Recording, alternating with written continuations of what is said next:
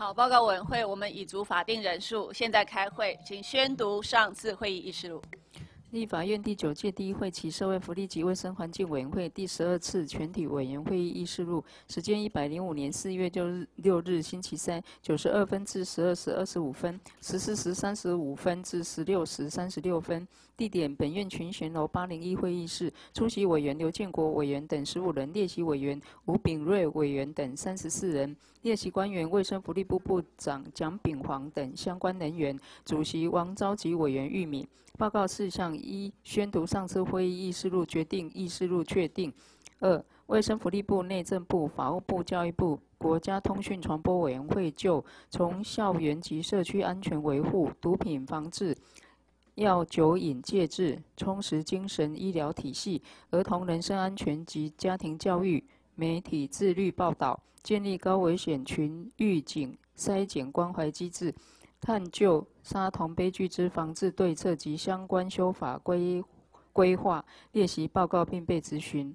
本次会议由卫生福利部蒋部长秉煌等列席报告并被询，委员刘建国等二十人提出咨询，均经卫生福利部蒋部长秉煌及各相关主管等及其答复，决定一本日会议报告及询答完毕。二委员林俊宪。高路已用巴吉娜、吕玉玲及李坤泽所提书面质询列入记录刊登公报，并请相关机关书面答复。三、委员口头质询未及答复或请补充资料者，请于二周内以书面答复。委员另要求期限者，从其所定。通过临时提案十一案，请委员酌参。宣读完毕。好，请问各位委员对于上次的议事录有没有修正的意见？好，黄秀芳委员。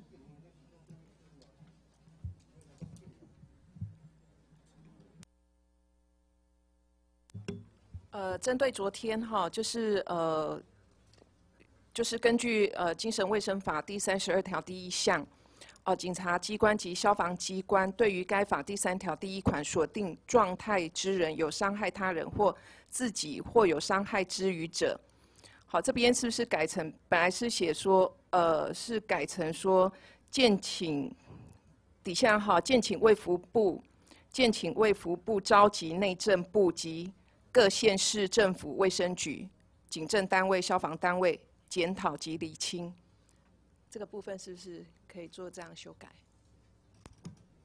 好，这个呃黄委员要做文字修正，那请那个卫福部徐市长来。主席，谢谢黄委员的指教。我想这一块的部分，我昨天没有在场了。不过以前我在地方上的经验的部分，在有关于强制，呃，这个精神疑似精神病自杀或伤人这样自伤或伤人的这样情况，送医的这个过程中，都是警消单位跟卫生单位共同合作。那由卫生福利部召集这样的会议的时候，其实地方卫生局没有问题。内政部也没有问题，但是地方的警消单位的部分，在招在邀请召集的这一块部分还是有一点困难，所以我们其实也非常赞同昨天的决议是用内政部，因为毕竟警消的部分是属于内政部的相关的一个部门在做相关的一些呃督导，所以我们这次共同来召集这样的会议的部分，效率会比较好一点以上。呃，我我是认为说要有一个主责单位啦，哈。那主责单位是不是说可以请就是卫福部这边主责单位，然后来召集其他的各部会这样子？对，我们是主责单位没有错的，但是我觉得那天要会议要召开的时候，一定是要共同召开的，因为我们在那个会议上面的部分涉及到内政部所辖的这个警校单位的这个部分，还是得。呃，需要呃由这个会议，当然我们可以一起邀请召开，但是那天共同会议主持的这一块的部分，一定是要跟内政部共同一起，这个我们没有问题，因为有涉及到地方上面的这个权责的分工。是不是呃黄委员可以，就是说，因为我们昨天呃现场其实也有通过，大家有个共识，就是说希望内政部在这件事情上。还是可以多多尽一些力量。那刚刚卫福部也说，他们要来召开会议，其实也没有问题。所以，所以这个文字上面可以这样修改吗？因为是建请卫福部召集召集内政部及各县市政府卫生局。刚次长的意思是说，要内政部共同主持了。对。就是说，他们可以来来来召开，但是召开的同时要两个部会共同主持，可能才能叫得动下面。对，那那是不是说召集之后就是共同主持？这样其实也可以嘛？是可以吗？卫福部召召集召内政，集内政部及各县市政府卫生局。但是你这样子把内政部跟以下的单位都是放在同一个位置，对，我觉得要不然就是会统，会同，卫福部会统内政部内政，部好不好？那这样就有一个，就是卫福部还是在前面对，改成会统好了好，不好？好，我们谢谢呃黄委员，我们就改成会统。好，来那个陈委员，呃，针对议事录也有意见来，请。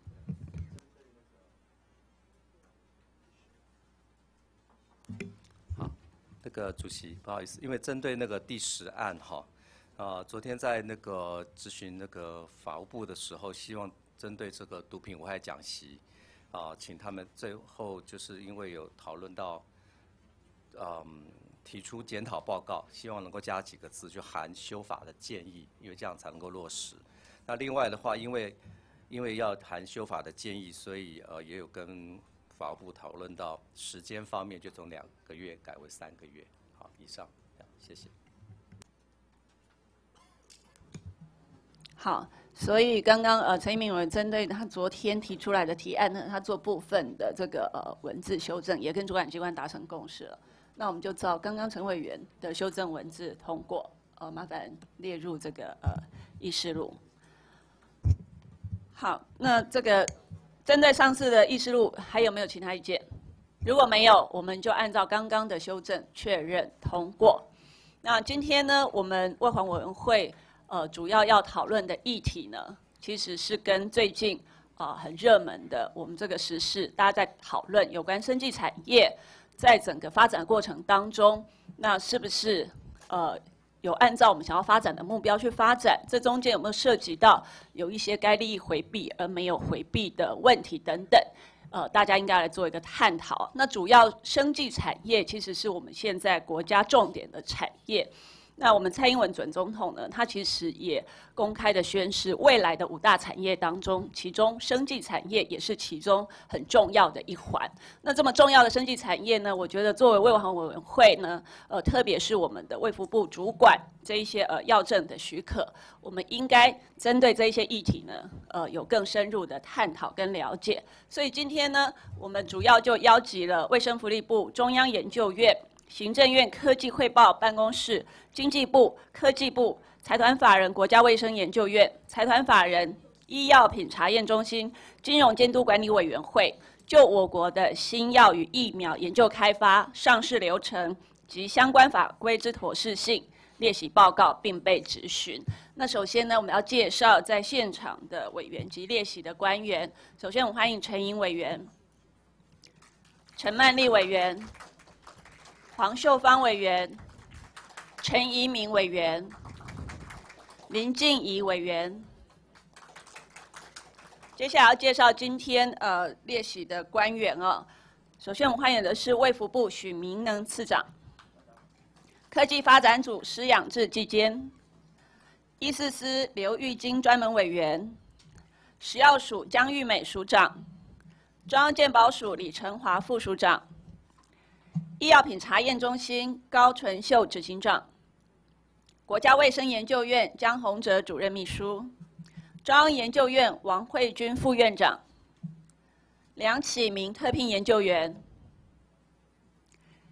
行政院科技汇报办公室连锦章参事兼代理执行秘书，经济部生卫医农组林志华主任。经济部工业局吕振华副局长，陈昭荣副组长，李家峰科长，技术处刘淑英科长，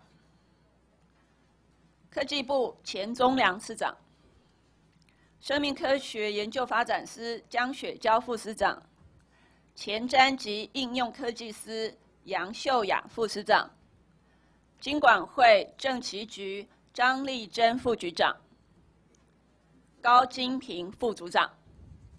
好，以上呃，我们现场委员，呃，我们补充介绍中统招委员。好，以上呃，我们委员跟列席官员介绍完毕啊。那现在呢，我们就要邀请呃政府部门来报告。那因为今天部门众多，我们主要邀请卫福部。因因为它是呃主管药品的这个呃呃审核通过的主要机关，所以由卫福部呃报告。那其他部会的报告，请大家先参酌书面。那待会委员就是直接质询的时候，也就可以就叫呃相关的各部会。我们就请卫福部许明能次长做报告。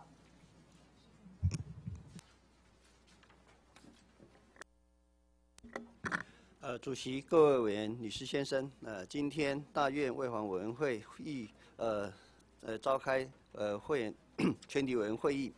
那本人曾邀列席呃报告呃我国新药与疫苗研究开发上市流程及相关法规之妥妥适性，敬请各位委员不吝指教。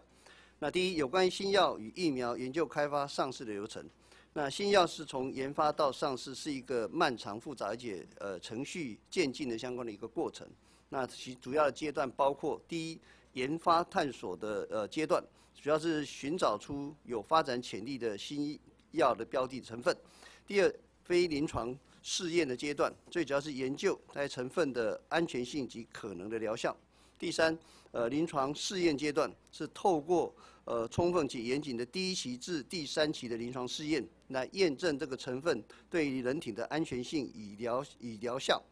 那第四，查验登记的申请，那相关的单位呃的 备齐相关的一些资料以后，可以向中央主管机关申请新药的上市。那经过审核通过核发药品许可证后，方可呃制造贩卖。第五，新药安全监视的阶段，上市后在大规模病人使用之下，也可以监视药品严重的不良反应的发生情形。那第二，有关于国内药品管理的相关规范。第一，呃，药品，呃，全生命周期的下管理。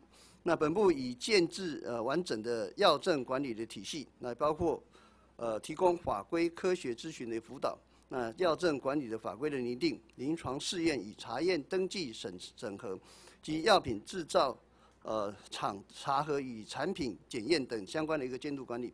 在以上市前的呃查验登记及各项。呃，药品优良规范及上市后的呃药品优良安全监视规范、呃优优良运销规范等要求，来达成药品全命全全生命周期的管理。第二，药品审查标准也是符合国际的相关的一些规范，在药品查验登记的这个部分，以参照国际医药法规协和会所颁定的国际公认的规范来进行审查。其审查内容包括。化学制造管制审查、药呃药动药效学审查、药呃药毒理审查，还有临床统计审查，最主要是以药品安全、有效及品质为三大诉求的部分来进行相关的审查。第三，持续精进药证审查法规与审查的效能。那本部持续检视修订药物相关的法规规范，以符合国内的一个呃需求。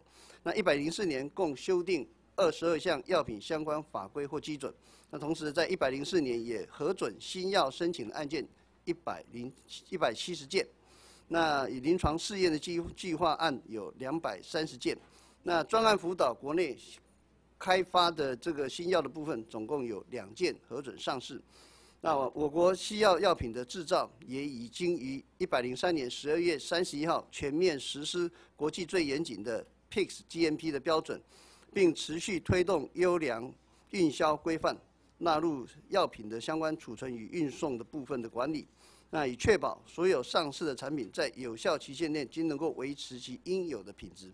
第三，药品审查的程序，那药商依据药事法及药品查验登记审查的准则规定，来备齐相关的一些文件，来向本部食品药物管理署提出申请。食药署受理后，将再将这个技术性的文件资料委托由呃财团法人医药品查验中心进行审查。那该中心依据呃相关的法规基准及国际相关的规范进行相关文件及数据的审查。审查完毕后，提供审查的报告与食药署作为查验登记准驳及核发许可证之参据。最后，我国药品查验登记管理制度多年来。与时俱进，与国际接轨。那本部将持续精进各项审查管理机制，来促进新药的研发上市。本部曾大院各委员对业务推动之支持与协助，在此呃敬致谢忱。呃，上请各位委员继续给予支持。那我们这附图一跟附图二是有关于相关的上市的流程及管理的相关的一些程序，敬请各位委员指教。以上报告。是，好。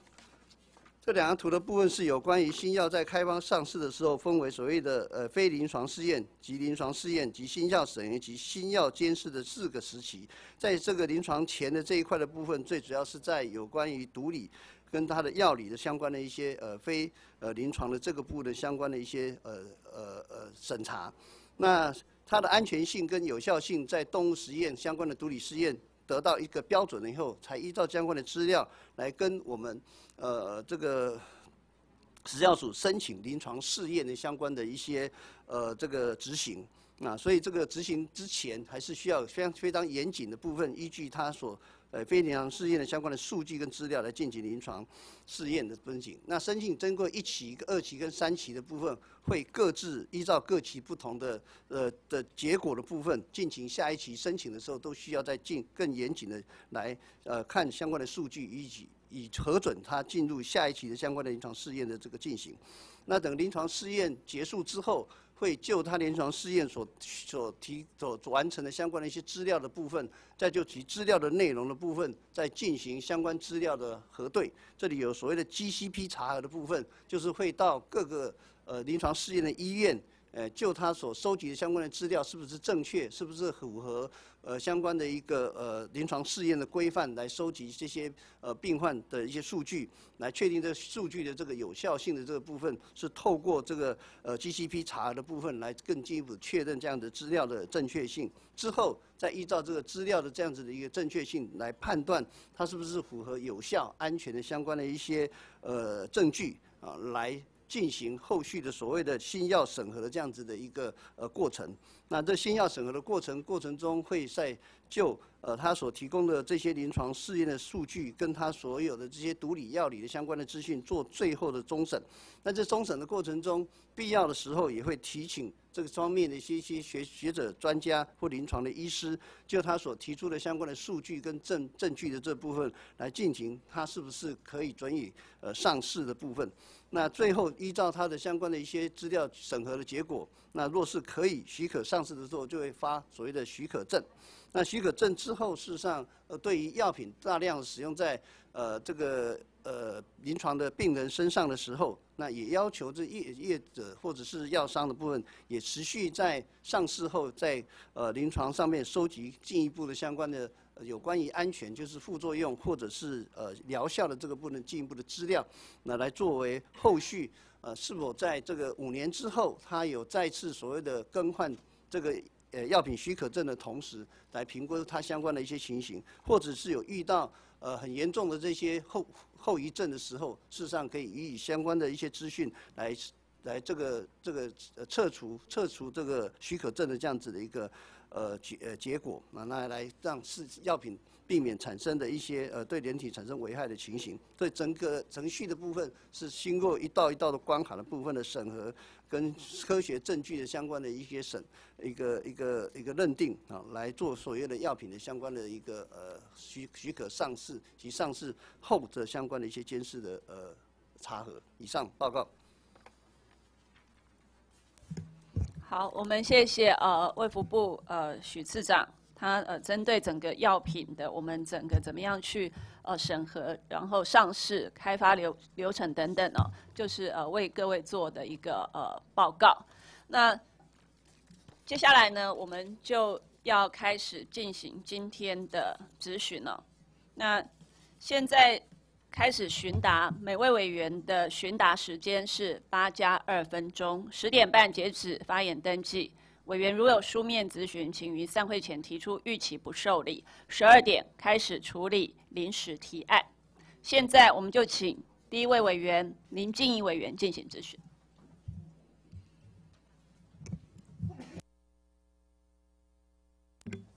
呃，我们麻烦卫福部许次长。好，请许次长。委员好，早，市长，您呃知道昨天苹果头版在讲一个新药吗？昨天的苹果头版，还是您没有看苹没有看报纸？还没还没详细的看到。好，我想这个药品如果卫福部对它这么的呃没有感觉的话，那我真的要提醒你们，你们到时候会被药厂压着跑。好，下一张。现在这个是上个礼拜的新闻哦，我发现这个药其实它已经在上个礼拜就公布，呃，现在民众很关切的一个药叫做非常昂贵的吸干新药，据说它原先研发出来的时候一颗是一千美金，现在一颗药是一百美金哦。那昨天的新闻出来做的很大，做了一堆，说民众非常期待这个药，然后呢，厂商一直跟大家说会会会，健保署会呃呃协助啊，我们的卫福部会协助。那昨天有一个案子是，他们说他们要试出这个五十个名额给民众送民众使用。我想请问次长，呃，我们对于药物的样品或赠品的管理有没有相关的法规？有，我们现实上在药事法上面有对于药品跟这正品跟样品都有相关的是法规的规定。那所以像这个药品，它目前虽然它是台湾已经核准的药，可是还没有呃在我们的法规上面让它上市使用。那它的五十名的个案赠药算是一个赠药还是药物样品？药物的这个样品或者药物赠品？这个药品事实上就食药署的这个相关的资料，已经说这个药品实际上已经拿到许可证。对，拿到许可证我知道可。以正式上市呃贩售。对，可是贩售了吗？正式贩售的这样的情况下，它可以用贩售的方式来做药品的贩卖。但是对都是这个呃药商的部分，基于什么样子的理由，他愿意做所谓的呃这个这个呃政药的这一块的部分？那事实上。它并没有属于所谓的未上市，还有一块叫做未核准上市之前的时候，对它事实上为了病患的这个使用的部分，可以用所谓的正药的部分，但是还来跟我们做申请，那是未上市。所以您说的，对我现在说这个是以上是我知道，所以它是它是呃药物样品还是药物赠品？下一张。它这里的部分理论上面，它是不能叫做所谓的样品或是赠品，它就是合法上市的药品。对，它就是合法上市的药品。所以它的它在赠送的部分，你刚刚说有我们是有法规规范嘛，赠药的部分，赠送药品的部分。这个部分我详细的法规的内容，我是不是请我们的那个呃王组长来跟委员做个简单说明，好吗？好，你再告诉我一次，请请告诉我，它是一个药品，这个药品它要送药，它是样品还是赠品？报告委员，就是呃，依据药物样品赠品管理办法，如果说他要来赠送的话，必须要先向我们申请。对，那请问一下，这个吸干新药，他们说昨天大张旗鼓的跟大家用新闻稿宣称要送五十个个案，请问一下，你们申请拿到申请书了吗？目前我们是还没有收到申请。那这个药商直接昨天已经说了，他们的办法都出来了，所以你的意思是说，它也不符合你们这个样本样品的这个规范？他必须要先申请，它是合法的药品，但是他必须要先向我们申请赠品，那才会变成一个赠品，所谓的赠品。我们下两张好了。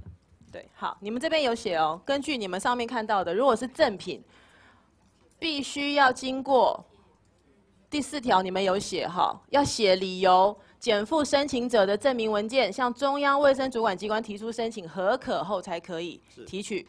好，那昨天的新闻，他们在网站上已经开放了，他们直接说有开放这个方法，请各位民众自己拿了资料来向他们申请。请问这个部分有没有违法？我想这一块的部分，它的程序上面来讲，还是需要经由这个药事法的部分的相关的程序完成以后，才才可以。可是他们昨天已经跟民众说，请欢迎民众齐聚所有资料来跟他们申请、哎，那当然，这个部分我们会进一步了解一下他的申请的这个程序的部分是不是完备。没有，那你们到现在都不管他哦？啊，如果民众申请完了，申请完了，他们你们才出来说这样不行，你们要承担民众的抱怨是不是？我我想这一块的部分，我们一定会在做这么，因为他这个申请是有这样的一些程序的部分。对，所以你们，我再结论一次，你们到现在为止没有接到这家新药对你们做出要政要的申请。好，我们查到资料，来下一张。医院这边如果要做政要申请，他们的医院里面自己都有这个感控，要向你们这个中央主管机关提出来嘛。好，也就是说他们完全没有这个行程，没有这个流程嘛，对不对？下一张。他们昨天召开记者会，说请大家来跟他们申请，申请之后他们怎么处理？他们查完了资格，如果符合，他们要在五月二十五召开记者会，公开抽签，抽出那五十名幸运得主，可以被赠送这个昂贵的药品。请问卫福部这件事情你们要怎么怎么管？我想这一块的部分，它既既然没有完成相关的程序的话，我们依照药事法相关的部分予以做相关的一个呃限期改正的这样子的一些通知。限期改正有没有有没有裁罚？有，就是这个事实上有一些三到十五万。三到十五万。三到十五万。是。他们这样广告下去，广告效益很很高啊，三到十五万其实不如他登在涉及到相关的药品的这个部分的一个透过新闻的这样子的一个部分，有没有所谓的药品促销广告的这样子协议的部分？我们会依照药品药事法还有相关广告的部分予以相关。所以您的意思，这个东西有牵涉到药品促销广告的部分，对不对有？这个之前，下一张我们会再进一步的处理。好，我再请问一次，我再请问一下，他们的网站公开的写了这些方法，还包含被抽到的五十名幸运得主，你要配合抽血，请问这个算不算人体试验？我想这一块的部分，以以这个临床试验的这个部分，它的这个药品上市之前都已经完成了。是。那至于至于业者要收血做进一步相关的一些评估的这一块的部分，那是由这个业者跟这个呃民众在这地方的取得。市长，您刚刚说，其实申请的部分应该是由这些，比方说要提供政要的专科医师，或者是医院，或者是单位来向你们提出申请之后，你们合可才可以处理。你不用帮他解套这件事情啦。我要问的事情是，这个里面有没有人人体试验伦理道德的问题？我想这一块的部分还是得要进一步了解他政要的这个过程，那是有证药的过程我都出来给他们就是用捐赠。抽抽血的相关的这个这一块的部分，后续追踪的这一块的部分，一定要在申请里面的部分要明细，类似这样子的一些资料，供我们做相关的审核。所以你们的审核过程有包含人体试验，或者是人体这不算是人体这不算人体试验好，那我再请问，他用抽他用抽签的方式，假设现在有一千个病友去申请，只抽到五十个，这中间剩下的九百五十位，在这个过程中没有收到没有受到治疗，没有被治疗的个案，有没有道德伦理的问题？因为你诱使病人说，我接下来会给你一个很贵很贵，然后的药品给你免费，这个过程中很多的病人因此而没有治疗，延误病情，他有没有道德的问题？他有没有刑罚的问题？我想这一块的部分，基于他对于提供的这样子的部分，一直要经过我们的审核程序过程。那这审议的过程的部分，我们基于它只有限制某些对象的部分，那有没有道德的问题，我们会经由一个相关的这个审查程序来考量它有没有道德上面的问题。我请问一下，我们过去有曾经有赠药的过程是用抽奖的吗？目前没有没有没有碰过有。卫福部有可能接受任何一个药品试验或赠品是用抽签的吗？这个当然，我们针对这一块的部分，我们会对就相关的法令的规定做一个呃审核。那对于在抽签的程序的部分，是不是有相关伦理的考量跟瑕疵的部分，我会一并请相关伦理的学者进行这个部分的相关的研议。市长，我非常困扰，你知道吗？我不是不让这个药进来给民众使用，是。可是你们失职，在这个过程中任由厂商大打广告，给民众不适当的期待。哎，民众现在都以为是我在反对这个药，哎。你们在这个过程中，这种违反医疗伦理、违反治疗伦理，还违反药事法的事情，你们一声不吭，还要我今天问你们，然后让民众以为是我在挡这个药，哎。你们这件事情能不能今天就对他这件事情，对于他赠药用抽签赠药这件事情，没有经过申请，违反药事法五十五条第二项的规定的部分，立即做出说明，立即。做出你们该有的动作，把这个动作停下来，把职责拉回卫福部，可不可以？可以，我想这个下一张部分我们会马上进行调查。再来一件事情，这个药很贵啊，我提醒一下，你们帮厂商算一下，他们要不要赠与税啊？下一张。最后，我再请问一件事：为什么我在这里面一直在请我们的健保署跟卫福部告诉我们说，假设我们要纳入各种比较新的、比较好的治疗，你们是用什么样的机制去处理？你们是怎么去划分鉴保预算？容我提醒你一件事，下一章。去年为了选举，为了让大老板们高兴，你们调降了鉴保费，整整让鉴保收入少了两百一十亿每一年。然后现在你们要各种新药的需求都来了，各种好的药的需求都来了。我想请问健保署，你们有没有任何一个机制告诉我们说，当新药进来的时候，你们如何宣布告诉民众说，我钱不够，所以某一些药我要自费？有没有这个事情？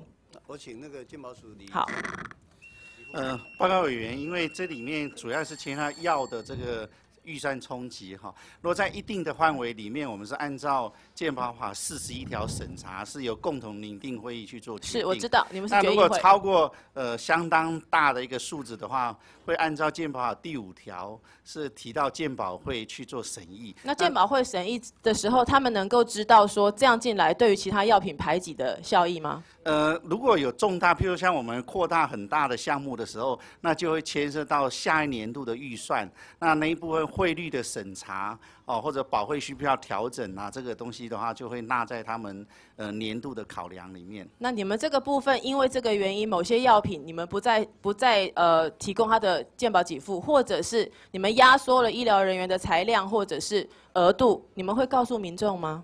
呃，这一部分是因为是按照法规里面是就全民健保会哦，就是一个各方的利益关系人共同去审议的，所以那个会事实上是凌驾在我们的健保局上面哦，包括汇率的审查、总额预算都在那个会我。真的结论一件事情啦，健保署，你们不能把大饼越弄越小块，然后还跟民众保证通通吃到饱啦。是。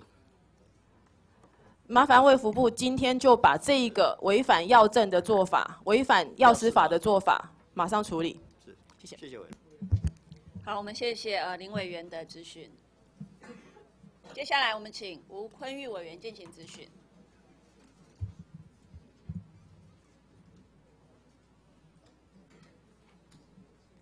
啊，主席好，高早啊，我们请许市长好了哈。当然，我首先先感谢哈各位参加新六开发的单位哈，科技部、经济部、卫福部、研能会哈，一当总共二千二十亿哈，啊，交出来报告哈，好立法委员看啊，真的很替立法委员体谅，没有怕立法委员没有时间看啦，所以每一个人都交了几页的这个报告书啦。我我是真的非常体谅，非常感谢他们对我们立法委员的辛劳的体谅。好，怕我们晚上要熬夜看报告，所以送的报告都只有几页，但是每年平均拿了一年是二十亿的，在做新药开发相关的研究了。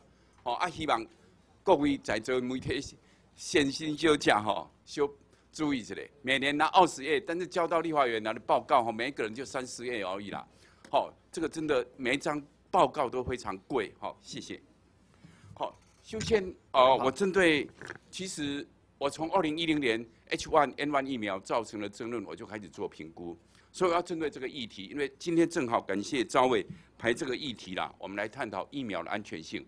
首先，我先澄清，我是赞同打疫苗，但是要打之前，我们一定要确保疫苗的安全性。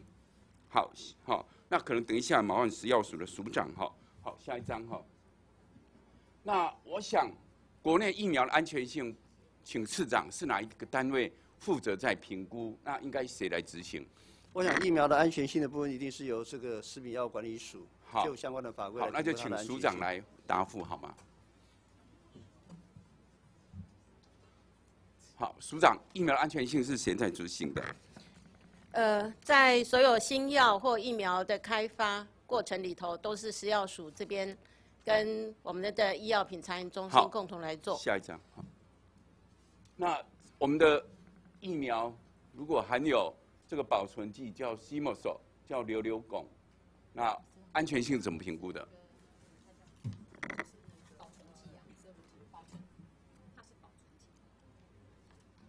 呃，由我们药品组来回答。好，请请。呃，委员您好，那个所谓硫硫汞，其实它是一个保存剂哦，主要是在那个呃，在那个疫苗，就是说它运送途嘿间怕它受感染。时间有限，我们简洁回答好不好？那呃，这个技术性的话，我们在呃 CD 它会参考国际上的规范去做一个评估。国际上怎么评估的？对你你你简单的讲一下怎么是评估的？它会参考他的那个安全这些，然后像那个呃，国外他有定的标准，我们台湾也都符合他的标准您知道准。对，硫硫汞的毒理吗？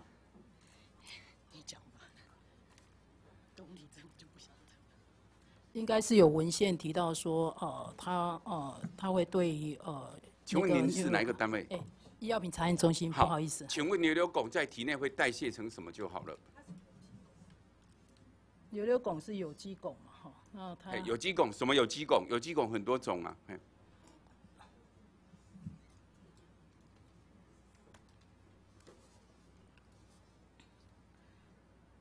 好相当不专业好相当不专业这么简单的问题这个是国际上非常重视的一个问题那尤其在疫苗的安全性非常重视的问题好弄了这么久搞不清楚。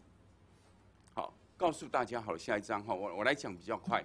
好，瘤瘤汞在体内会代谢成甲基汞、乙基汞都有，在动物实验里面本来只认为可能代谢成乙基汞，但在动物实验里面，在组织里面确实量到会代谢成甲基汞。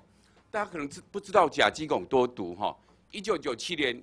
在美国一个非常有名的神经毒理学家，他在做实验的时候，他有戴防护手套，不小心一滴滴在手指头上，手套上，一个月后，这个神经毒理学家死亡。他是有戴手套的哦，不是没有。那甲基汞神经毒性在国际上都非常清楚，非常清楚。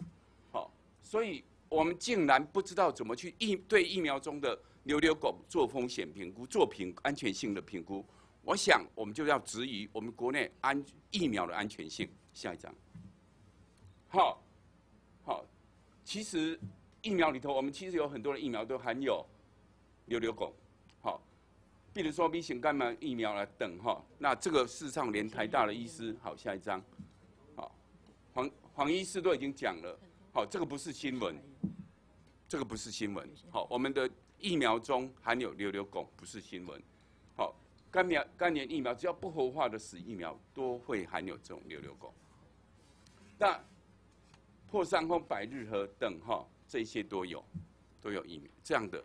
那我们怎么做做做对瘤瘤汞做安全的评估？你看我们的相关单位负责主主管的单位完全不清楚，完全不清楚。好，下一张。委员。好，这个就是我们要在 CDC 在请大家要打的疫苗的顺序。好，下一张。好，那这个是我们整个到两三岁都要打的这个 schedule 在这里。好，在这里。好。委员，对不起啊，因为我补充说明一下哈，我本身呃当然不是药毒理的专家，可是实际上我们呃查验中心有专门在呃审药毒理的这些。那这些，那你们怎么评估的啊？对，呃，当然，呃，会从呃他的疫苗当初啊，他们在先前在做的一些动物实验，还有他其实现在呃国际规范也有对这个瘤瘤汞它的一个安全限量有一个标准。不知道国际上怎么做？下一张。好，这是我们我从二零一零年就开始评估。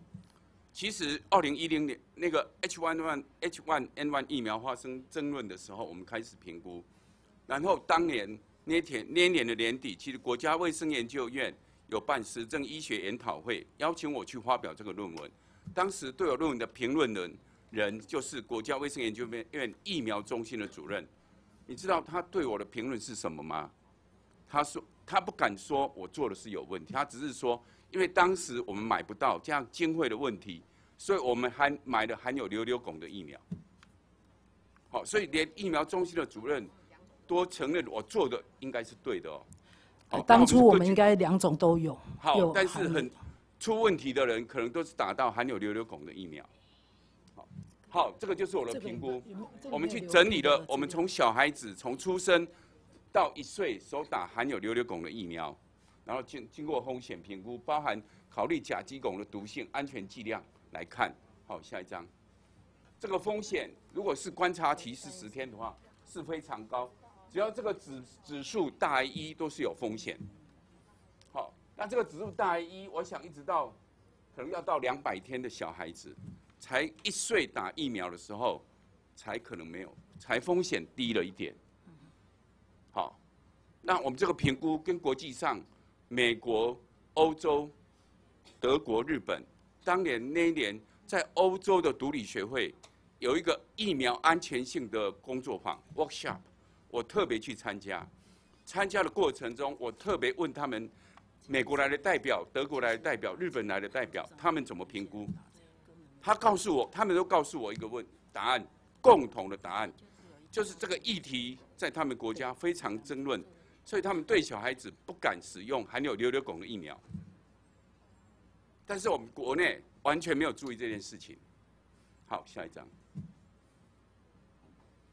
好，现在在美国，你看，好，爱荷华州、加州、英国是禁用含有瘤瘤孔的疫苗。那我们国家呢？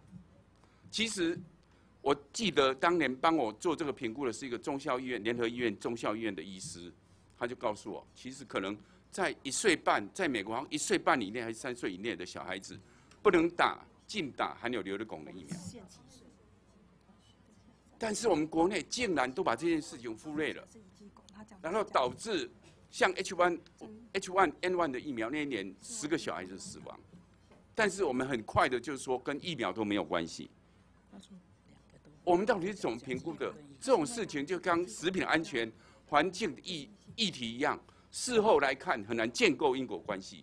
这种事情只能做采取预防的措施来保护小孩子，所以我会建议我们要考虑到。未来打疫苗的施打对象，孕妇跟幼童是不是可以打这种疫苗？好，下一张。好，那再来就是说，我们要去考虑这一些的安全性。好，下一张。好，我想像 HPV 这个，好，在日本有人已经开始要在诉讼这个疫苗公司了。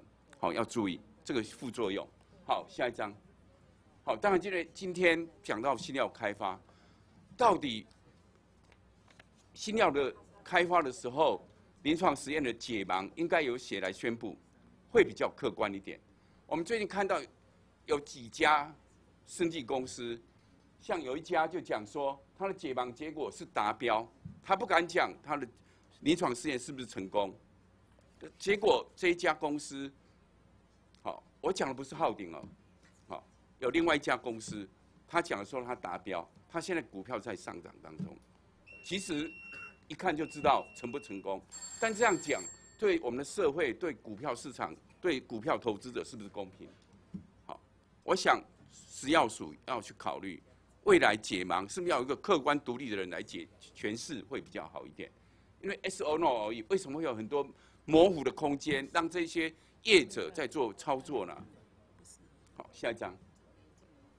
好，那因为时间关系，我就问一下科技部。好，一个科技部正好在这里哈。好，下一张。因为我在总咨询的时候问到，科技部到底花多少钱在做食品安全的食品安全的研究？那想请问次长，是，到底违反学术伦理，藐视立法院要做什么事？要怎么裁罚？在科技部怎么处理的？呃。请委员说明呃问题的重点。没有关系，科技部怎么处理违反学术伦理？哦，我们有呃相关的独立的委员会。嘿，没有关系，惩罚如果确定的话，要怎么惩罚？停权。停权什么权？申请呃。国科会的计划嘛，对不对？是。好，那这是一个，然后藐视立立委，我再看来怎么做？我问说多少花多少经费在做食品安全的评估？啊，下一张竟竟然这样回我，说你们有创新的一个。食品保健的营养保健的学门投入多少钱？这个不要骗人的，这个只是因为求证件当生物师的师长的时候，把很多的旧有的很多学门把它整合成一个学门，这个不是清创的，在这个学门做的完全跟食品安全没有关系。进来生物师师长、科技部的部长都搞不懂食品营养保健在做什么研究，那做什么师长呢？以为发发表一篇 SSCI 的高点数的的文章拿到国会结出来就可以当师长吗？乱来，完全藐视立法院的质询，然后欺骗立法委员，这个在干什么？我想应该针对部长还有生物署长违反学术伦理做出惩罚。我想我会去想办法提案。谢谢，谢谢。好，我们谢谢吴委员的咨询。接下来，我们请刘建国委员进行咨询。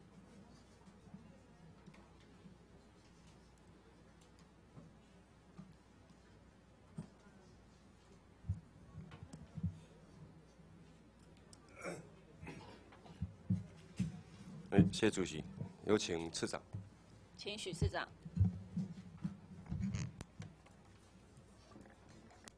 各位好。哎，次长好。哎，我昨天跟陈委员哦，陈一鸣委员被受邀到《远见》杂志哦参加一个论坛，那是针对这个新药的部分哦做一些讨论。那我就很详细的在拜读《远见》杂志的相关内容，我就从这里面的内容哦，一一来来就叫次长。是。我要简简单讲，今天主席排这个还蛮不错的哈，浩鼎，浩鼎，浩鼎解盲失败，浩鼎的事件会不会导致台湾生技产业变成浩劫到顶了？会不会有这个事件，看到国家政府面对一个呃生技的产业，面对一个呃国内厂家，在整个制造呃这个新药的过程里面，政府到底扮演的是什么样的角色？哦，就从呃卫福部 FDA 还是所谓的呃 CDE，哦等等等，到底在这个阶段里面，我我们我们扮演什么样的功能性，去对这些呃新呃这些这些药厂。所制造出来的新药的整个过程里面，到底我们的功能性是什么？我简单就叫这个次长了哈。也就是说，后鼎在台湾标榜，他当时是标榜进行第二三期临床试验。那其实我们在其他国家看到，它是二期、三期。那为什么后鼎它一次就做二三期？这第一点。好，这这个这个过程里面，我们看不到他们当初有什么 protocol，所以免不了当初。他们为什么要要选择这样的一个临床试验？这个这个是我不清楚的地方，所以我就要次长，在这个过程里面，他的设计送审有充分与我们的 CDE，好，还是呃有跟我们的 FDA 有做充分的这样的一个沟通？所以我说，政府在这个阶段所属的呃相关的呃职权的机关，它到底是扮演什么角色？请次长简单回应我。谢谢我的指教。我想这一块的部分，我们在这个新药上市之前，有关于临床试验这一块部分，除了我们依照相关的法规来审核它的临床试验的部分可不可以用在人体身上的这件事情，要做严谨的把关，避免产生这些试验。呃，受试者对象的这个部分受到相关的一些试验的时候的伤害，但是在同时的部分，我们也希望说，业者在做相关的一些临床试验的过程中，我们能够提供相关比较正确、有关于相关法令法规的相关的规定的部分，请他们依照相关的法规的部分去做所谓临床试验，会提供相关的讯息供他们做。所以，所以，至少你回答我，就是说，不管是 FDA，不管是 CD，都有充分的给这给他们相关的这样的建议跟讯息。是，是确定了。是。那如果是这样，为什么国外是一起一起做？呃，浩鼎这一家就二三起一并在做试验。我想这个大概是业者他有他自己的一个呃在临床试验的这样子的一个计划上面的一个考量了。那这个考量部分，我讲在当时一定有一些呃这个充分的讨论。那详细部分是不是给 CDE 的这个医师呃当时在做相关的咨询或提供资讯的部分，各位做相关简单的说明。好，请请简单说明了好不好？哎，OK。啊，委员好，我我是查验中心 CDE 张明小医师。那当初他做这个。二三期的试验，这样子有弹性的做法，其实，在目前各界无论世界上新药开发的研发，这是一个蛮常见的做法。所以，这样的做法并不会很奇怪，只要你讲清楚二三期的分界还有标准，什么情况你可以进入第三期，所以这样的标准是符合国际的规范。谢谢。好，谢谢。那简单讲就是说，它有符合国际的规范，也就是说，它照这样一个程序在走的过程里面是没有问题的。那没有问题，毕竟最终它解盲还是失败嘛，对不对？我我要讲的就是说，一般整个新药在申请过程里面，它要到上市，那个时间非常非常冗长了哈。诶，所以我才会期待说，政府在不管不管是你 CDE，不管是你 FDA，你应该扮演更强、更好的一个功能，不然国内的生技产业，我想会因为这个事件，哦导致在看待尔后，我我们我们可能可能会有那个期待值会。会很大的一个落差，哦，这是是我担忧的部分的哈。另外一点，我我在这边建议啊，就就是若西药是属于特殊族群的用药，我相信这次长我讲这个应该你可以感同身受了哈。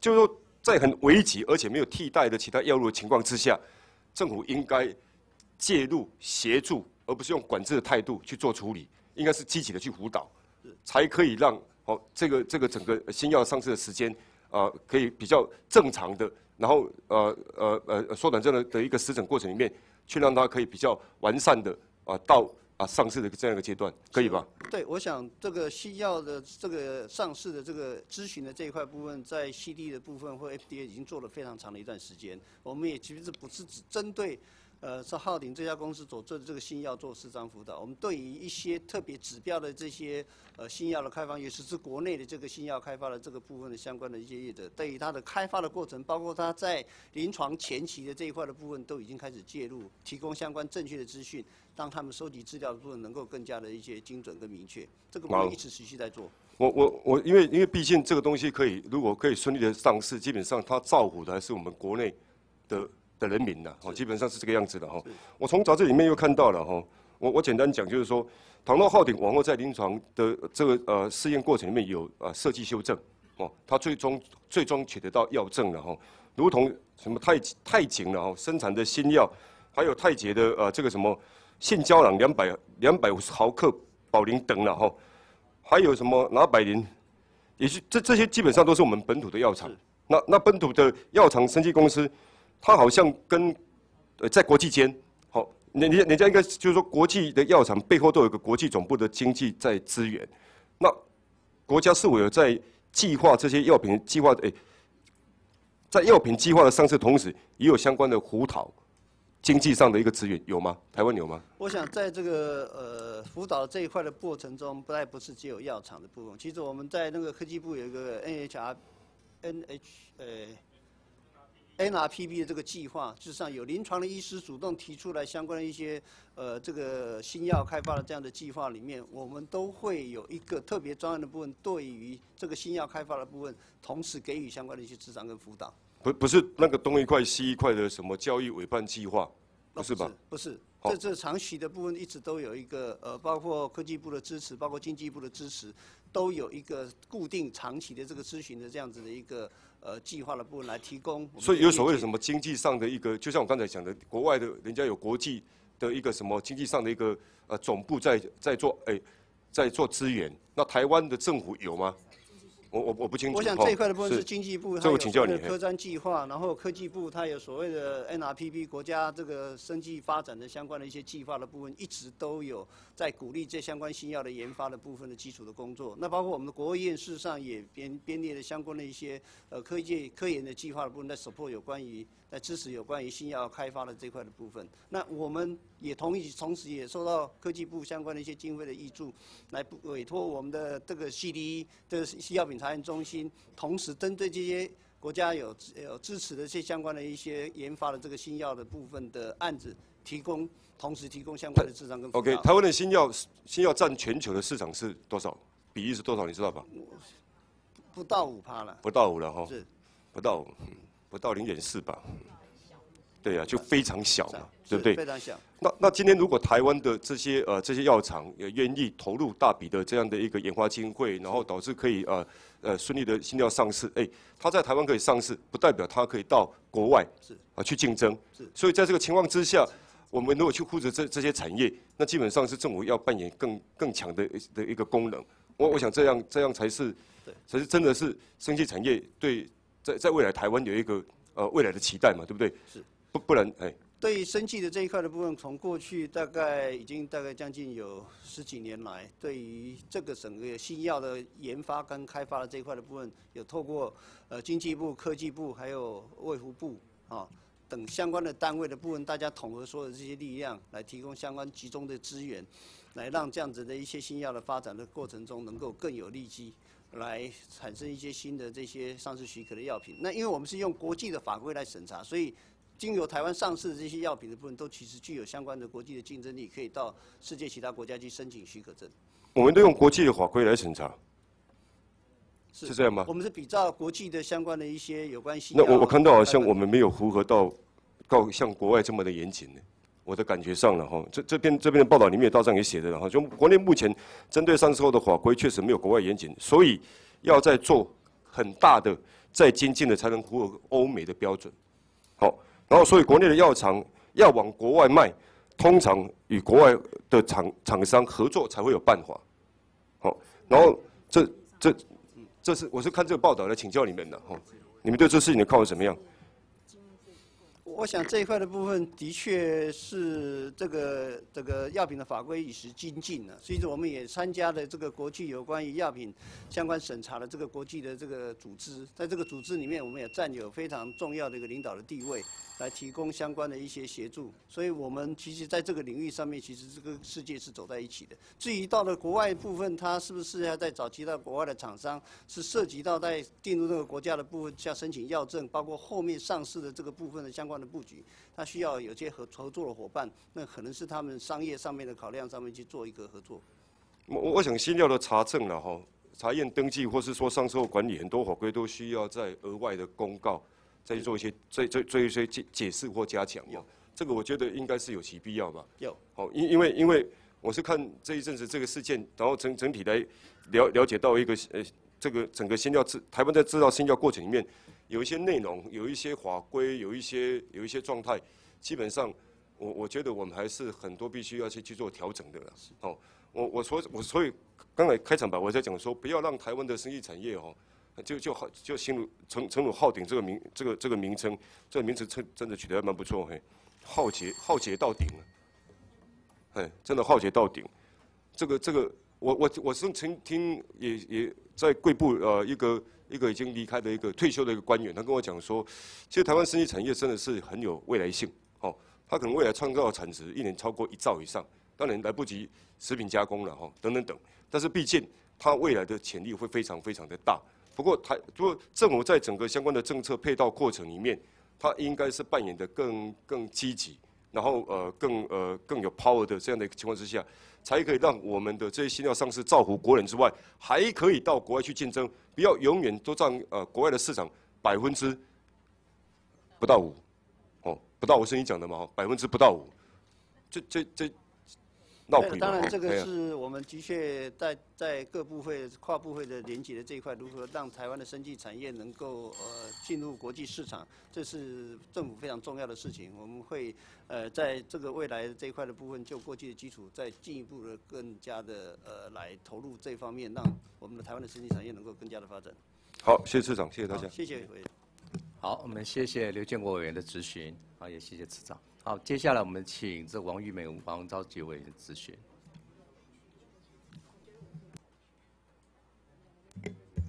呃，谢谢主席。主席，我们是不是有请卫福部许次长？然后呃，好，我们请许次长。医药品查验中心的高执行长，还有食药署的江署长一起上台，好不好？委员好。呃，市长好。我想今天哦，排这个议议题哦，主要就是邀请。相关部门呢，你们的专业来帮我们解盲，因为呢，这一阵子大家看到的有关于这个新药，它是不是核准药证，然后可不可以上市等等的议题啊，其实媒体的讨论非常多，但是呢，我们立法院可能没有安排这么专业的、有专业的相关部门呢来帮大家解盲哦，所以以下我就有几个问题哦，要请教这个次长。第一个问题啊，其实那个 PPT。第一个问题啊，我们可以看到，在二月二十一号的时候，我们中研院的翁院长呢，他有提到说，疫苗跟药物不一样，不应该用药物的标准来看待，这个要好好跟卫福部谈。我不晓得这段谈话你们有没有听过，我也不晓得翁院长后来有没有跟你们谈哦。没有。那我的疑问是说，为什么？疫苗跟药物，它的审查标准有不一样吗？按照你们现在的整个审核的呃历程来看的话，是不是真的疫苗跟药物是走不一样的流程？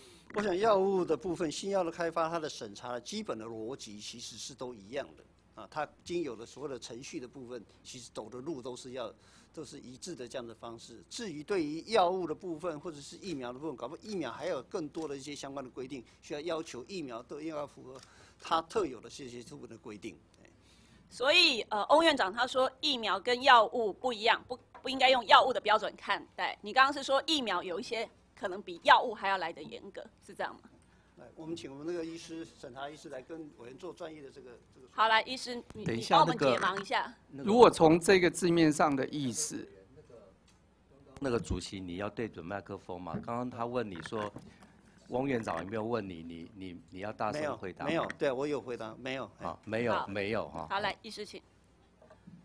首首先，翁院长没有问我，但是我先如果从这个字面上的解读，我如果不以法论法，他讲的应该是疫苗和平常化学性药物的作用机制不一样，因为疫苗是个生物制剂，透过的作用机转是透过免疫的反应来机来作用，所以它在临床上的表现会和我们平常吃一般的一颗一颗的药丸或或打化学药的的表现会不同。所以他的意思是，这样的新兴制剂在你看待疗效和安全性的时候，要有不一样的眼光。那这个也都要 data，就是数据资料送过来才知道。从头到尾，我们都还没有收到任何资料。但是我可以了解翁院长的意思，大概是从科学面来讲这个层次。面对这样新兴生技药品的发展，他的解读应该是这样子。谢谢。好，所以我们现在国内的我们对于新药的一个审查，刚刚你们报告有提到，你们是根据 ICH 的标准来审查嘛，对不对？是。所以也就是说，如果一个药在国内申请，它没有办法申请成功，因为它可能解盲失败，请问它同样的标准、同样的模式，到国际上其他国家去申请会成功吗？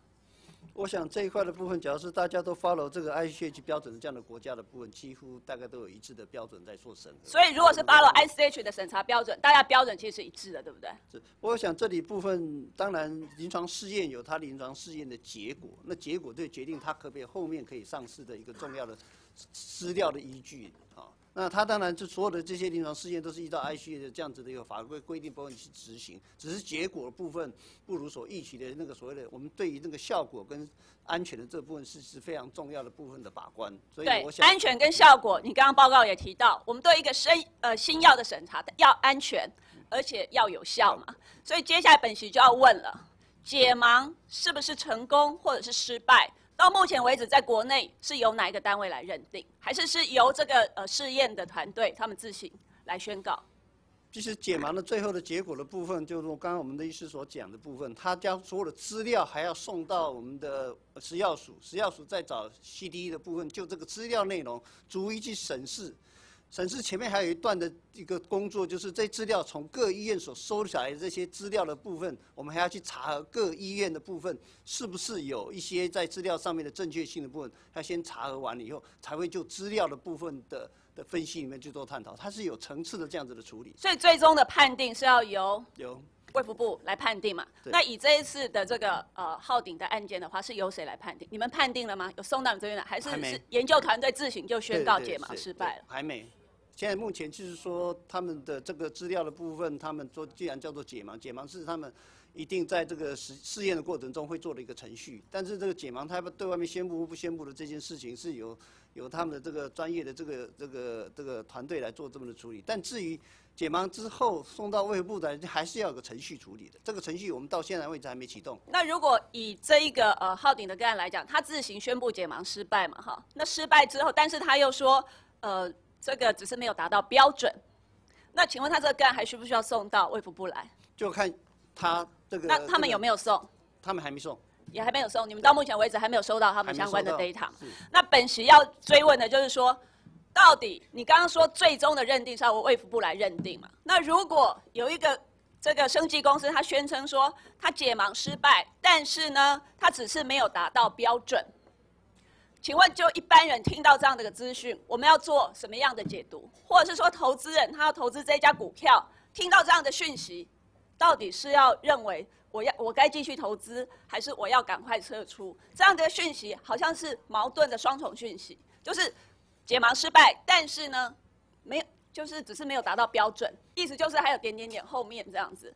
那你们作为主管机关怎么看待这样子一个资讯的解读？难道这样资讯的解读不应该是比较一致的吗？其实当初针对这个部分，我们其实对外说明，我们家等到他的后面的相关的一个资料的整理完了以后，再依照相关的一个审查的程序的部分送到我们的这个食药署来以后，我们才会就这个内容的部分再做实际的审查。至于他说有没有达标准没标准，这是他在在自己的价值判断里面就做部分的处理。那我们对外也说明，但。也说明了一件事情，就是说这件事情还是要回到法规上面来做，呃，这个相关的一些审查。对，本席是认为这样子的一个结果的判读，事实上还蛮专业，而且还影响到后面的，譬如说股价的表现、投资人的信心等等。未来这一方面，本席是本席是希望说，要能建立一个比较科学的标准，而且是比较一致的。譬如说，我们就是由卫福部来告诉大家，到底解盲的结果是成功或者是失败，最终民众要解读的资讯可能是由官方统一公布的，这样子可能才是是一个大家比较有规则可循。要不然各个团队他自己自行用多种说法。然后我觉得这样有点混淆视听。我想这一块的部分，我们后来再来看看，对于这样子的相关个案的部分，在这个临床试验阶段部分，应该要遵守什么样子的一些呃。你们再去演绎好不好？做一份演绎？另外一个部分就是有关于。呃，这个卫务其实，在宣布这件事情，其实是到最后许可证发的时候，我们才会对外囊实说他有没有拿到许可证。对，但是我希望你们前面要去理解，就是说，如果任由是这个研发团队他对外发布的讯息，然后他用多重讯息，然后来解读的时候，我觉得作为一个消费者或投资者，他其实会不知所措。对，我想这一块的部分很可能，我们在跟金管会相关的的对你们去演绎看看，好不好？因为这个是属于股股价。影响的这个部分，对我们专业的对啊，我们绝对是支持这个生技产业的发展。但是呢，我们也不能放任有一些人，他可能在这当中，他用不实的资讯，试图来混淆视听，或者是欺骗我们的这一些呃投资者。我想这是不允许的，好不好？好，我们谢谢这个呃许市长。接下来我要请中研院的这个呃副院长王副院长。好，我们请王副院长，谢谢。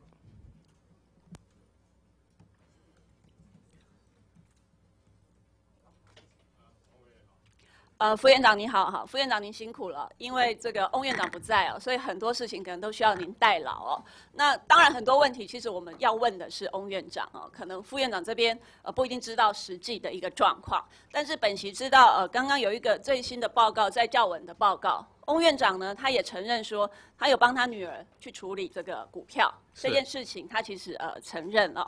那呃蔡英文主席呢，他也讲到说。他认为翁院长已经影响到中研院的声誉，希望他可以呃自行请辞哦，但是呢，应该要回国来做说明。那我不晓得最近这个一连串的事件下来啊，副院长，你觉得对于中研院本身的士气或者是声誉来讲，有没有受到一些影响？你个人有没有感受到很大的压力？我想的确一定会有影响。这个媒体这么。我不要讲铺天盖地，不过就是很，呃，各方面的这个批评也好，或者解析也好，呃，有一些我想不是那么呃正确。那那我们当为中研院的一份子，一个同仁，我们当然是呃感觉不是那么好了哈。但是至于 这个里面的很多的内情，就像委员提到的，呃。只有翁院长知道，那他目前是从法律的面来处理这个事情，所以我们也没有办法去做啊太多的琢磨的发言。本席有另外一个问题要请教你啊，因为中研院自己本身在民国一百零一年呢八月十四号，你们就定定了这一个科技移转利益冲突回避的处理原则。是，嗯哼。当时您您在中研院吗？应该在。你有参与这个原则的定定吗？呃，不太细节，不太记得，有有可能啊。这样子，我那时候还在中医。好，这里面其实还明很明白的去规范到说，呃，这个关系人应该要揭露相关的利益。其中一个关系人的定义是指当事人之二亲等以内的亲属。对。所以如果以这一次的事件来看的话，呃，这个翁院长的女儿持有这个呃股票，他也帮他操作。您认为在这件事情上？就是翁院长有没有涉及到这个利益回避的问题？有没有已经涉及到利益冲突？没有回避的问题。好，啊，委员，我跟呃这个委员还有所有的委员解释哈，我们中研院的确有一个叫做中央研究院技术转移利益冲突与回避的原则哈，呃这里有，那么这里面呃有好几项，这个基本上是呃仿这个参考的公务人员利益回避法去呃定定的哈。那这里面，我想，我因为很长了，我就不全部念。但是呢，这里面的第三条的第一跟二项，它有提到，当这个什么样子，呃，什么叫做关系人哈？那关系人是当事人之配偶与共同生活之家属，哦，这是第一个第一项。第二个，呃，就是您现在讲的当事人之二亲等以内亲属，哦，那这样听起来好像。这个呃，这个他女儿应该属于这个规范，但是我们在利益回避的揭露表里面啊，有一个填表说明啊，因为你每一个人都要，如果要计转，都要填两张表哈。那这个表呢，呃，里面有说明，这里我就举出一项哈，跟这个他说填表方式，若无财产上之利，哎，对不起，呃，这个里面有有个注解了哈，因为时间的关系，我就讲二等亲以内亲属范围，包括祖父母。外祖父母、父母、兄弟姐妹、兄嫂、弟媳、姐夫、妹婿、连襟、妯娌、孙、呃孙子女、外孙子女，没有子女。子女啊，如果是成年的话，他已经是独立生活，他是不包含在这个填表的范围里面。我们当初是这样规定。哦，填表里面竟然漏掉了没有子女这一项。漏掉，因为反而孙孙。对。对啊，子女是一等，但是为什么在表格里面没有？呃，表格里面。我想这个问题我们事后要好好来探究，就是说，呃。原则是这样子写，但是在表格填的时候呢，子女，您说是因为他是成年子女，所以他是独立个体，没有生活在一起，没有生活在一起，所以没有填嘛，哈，这个可能跟一般民众的认知跟观感，其实可能是有有所冲突的，这个我们之后可以再探讨。我最后要问这个副院长一个问题，就是说，现在已经有中研院院士他们发起联署，嗯，然后呢，他们觉得这个可能翁院长就是有涉及到没有利益回避这样的事情呢，送到伦理委员会。我要问的是，说伦理委员会到底具有什么样的效果？这样子的一个联署案送到伦理委员会之后，中研院他他最后会做出什么样的处置？而这样的一个处置有没有任何行政上面的效力，或者是说它只是一个，呃，就是说我们有形式上的审核，但是它不达成任何的效果？因为我们知道中研院是最高学术机构，事实上包括立法院也很少。就过度在监督这个呃中研院里面的运作，完全尊重学术独立自主。那今天发生这样一个事件，本席要问的就是说，如果这件事情已经涉及到有利益冲突回避这样的事情的话，中研院自己本身会做出什么样的处理？在伦理委员会。好，呃，第一件我要澄清一下哈，你刚才讲的这个联署哈，那个里面的名单细节我不记得了哈。不过呃，在工中研院工作的人。不一定是院士哦，我先要澄清一点。那这个里面我的了解是大部分是文理啊，不是呃文法相关的研究人员，不是院士哦。我先必须澄清这一点。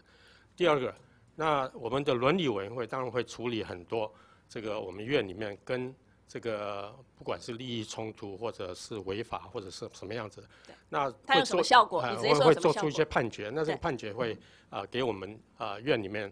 来当做一个参考。那如果是违法，那我们当然就啊用法律的方式去送到，也许啊什么单我不知道哈。那去做处理，但是有有的会记过呃记过啦或者什么，这这都有哈。所以呃至于将来是如果呃有违背，真的有违背利益呃这个违背这个原则的话，原则的话，呃那就是要呃送到我们院里面来，然后。往上嘛，我们也有正风室，也有什么，呃，都可以去做处理。OK，嗯，好，我想谢谢谢谢这个呃副院长，我我最后要再一次重申哦，事实上我们对国内的生技产业的发展，我们都是支持的。然后我们只是希望在这个过程当中，如果有一些弊端，有一些不好的发展的面向，我们希望大家可以共同来监督，把这一些不当的地方我们揪举出来，才可以让我们。整个台湾的生技产业迈开大步走，然后成我们下一个明星产业。委员王委员，是不是我们继续一下好吗？请那个王副院长上来。他刚刚针对您的问题，有些地方我觉得他没有回答的很清楚。哎，你刚刚讲到的说，时间已经到了，之前林林淑林淑芬主席也都是这样子啊，当应该咨询完嘛，哎，没关系，嗯。对，没有超过很多，没有超过很多。我要就要问一个最后一个问题，你刚对，但是有一个问题，我觉得应该很清楚要回答，就是你讲的二等亲是不是含一等亲嘛？二等亲是不是含一等亲？这个刚刚他们在条文上面要说明嘛，填表格里面没有含女儿，已经对不对？那个表上都已经说明了哈，没没有没有这样，好。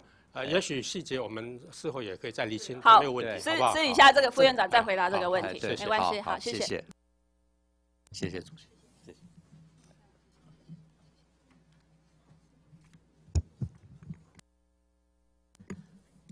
好，接下来我们请洪慈庸委员进行咨询。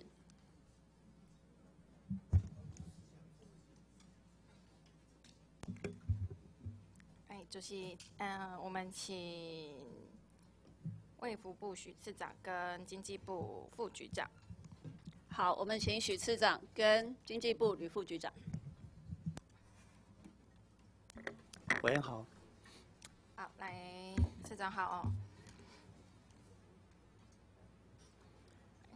好，来，呃，先问一下哦，今天在报告其实我看到两两个部会的一个报告的内容哦。那生技产业哦，其实大家都知道是蓝绿的共识了哦。那从扁政府到马政府，其实呃都投投入了很大量的资源，那也不断的进行这个法规的松绑哦。那希望说营造一个最好的环境，让我们这个生技产业能够起飞。好，那我想请教这两个部会哦，目前就广义的这个生技医药来看哦。呃，我们现在一年的投资额有多少？那产值有多少？投资来经济部的，来先。呃，跟委员报告，我们今年大概以投资统计来讲的话，投资了大概四百八十四点九三亿元。那整个营业额去看的时候是三千亿左右。好。这个在报告里面我有看到哦。那呃，其实刚刚其实一直也都有提到说，我们其实医药生技这一块，其实政府一直想把它打造成一个兆元的产业。好，那其实目前大概也有三千亿左右的一个产值，那未来还有很大的一个发展空间。我想要知道的是，哦，我们现在政府对于生技产业它整体的一个未来的一个战略规划到底是什么？我们中期跟长期的目标，那我们的发展蓝图是什么？那请两个部会来做个说明。跟委员报告，我们对于因为生技产业有开发期程比较长、风险比较高，还有研发经费投入高的这些以及法规管制等等，所以呢，为了推动产业呢，我们在呃生技新药条例里头呢，特别有相关的优惠来鼓励。所以呢，我们依据呃立法院通过的这个生技新药发展条例呢，我们对于新药还有高风险的医材有特别的鼓励。那我们希望在呃。各个部位之间的协调、共同合作之下，那行政院也有一个统筹在生计呃。钻石起飞方案之中呢，也开始逐一的去推这样的产业的发展。那这几年的成果确实已经开始陆陆续续的展现。那我们希望能够把产业升级转型的过程之中呢，生技产业推动是一个主力的产业，然后让我们的产值呢能够呃往前去做推动。那这里面当然就包括新药的开发，或者是我们在呃相关的一些药品的研发上面，以及呢医材的一个呃推动上面，尤其可以结合我们自动。电子的一个产业的这种快制造的能力能够发展的更好。以上。好，那刚刚所说的产值的这个目标哦，大概有什么样的时间要达到怎么样的一个产值吗？年刚好我们推了生技呃生物经济方案里头啊，那大概呃每年我们都会推动所谓的 BTC 的计的一个策略规划会议，好，那所以呢，大概今年如果如图是把去年生物经济的发展方案那逐一去做规划，那产值呢，到逐年就会有呃相关的一个规划，那是呃同仁可不可以补充一下我们呃？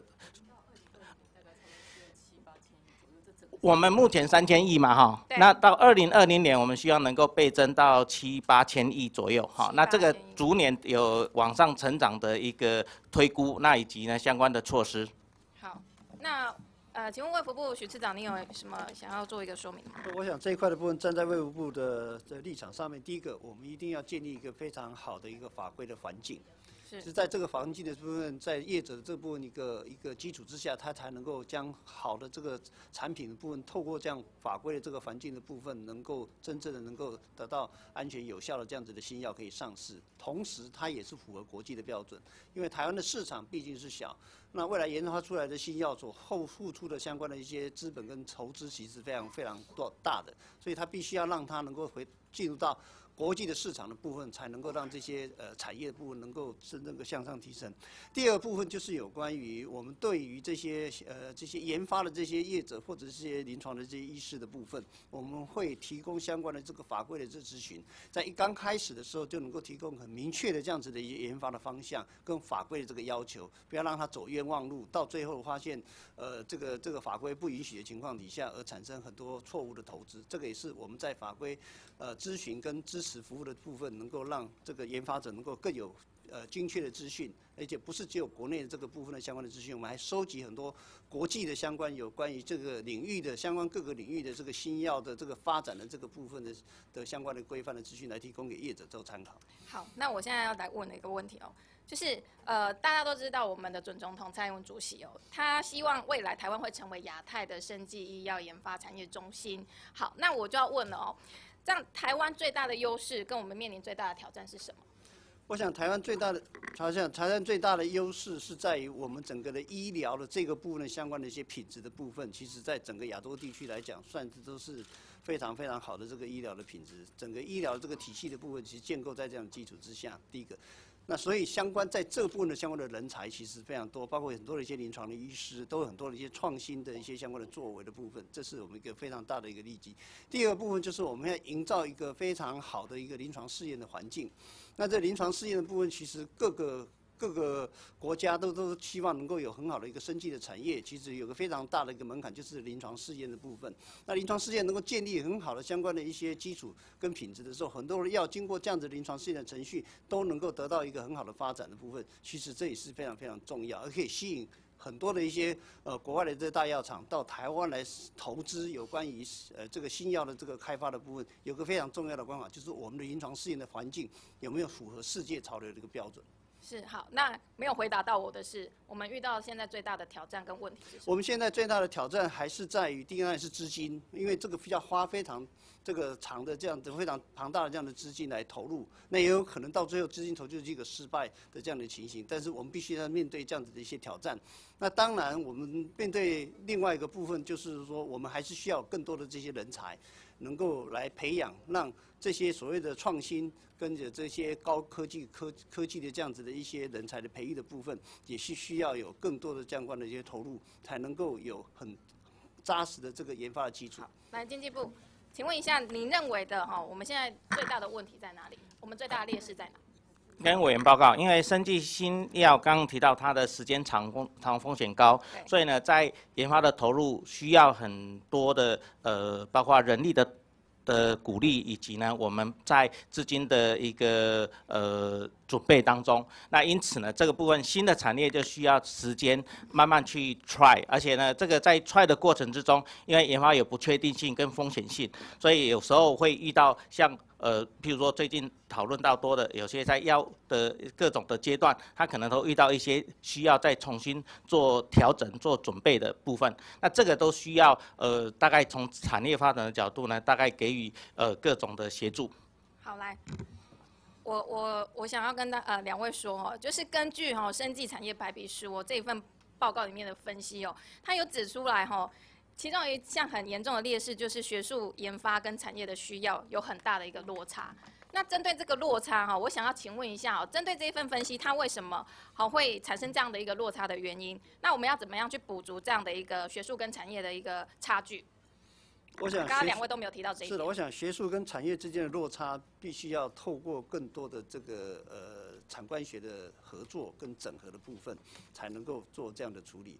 那我们其实现在我们有很多的这些呃这个呃研研发的这些这这个区块的部分，有非常多的这个部分的这些量能在这里。但是如何跟产产业的这部分接轨的部分，当然可以透过很多技转的方式，很多所谓共同研发的这样的方式来来加强。那当然是经济部这边就有很多的一些科专计划的部分，事实上也是结合所谓的这个学术的部分。跟所谓的产业的这个部分来共同合作之下，能够发展出更多的一些新药的部分。那当然，我们可以建立相关的一个呃政府的相关的法律的规范的部分，来促进产业跟学术这部的一个合作。好，因为这个问题其实还蛮严重的，然后那希我是希望这两个部会能够再多加演绎这个问题。那因为我时间不多，我想请请经管会。谢谢委来，副局长，麻烦。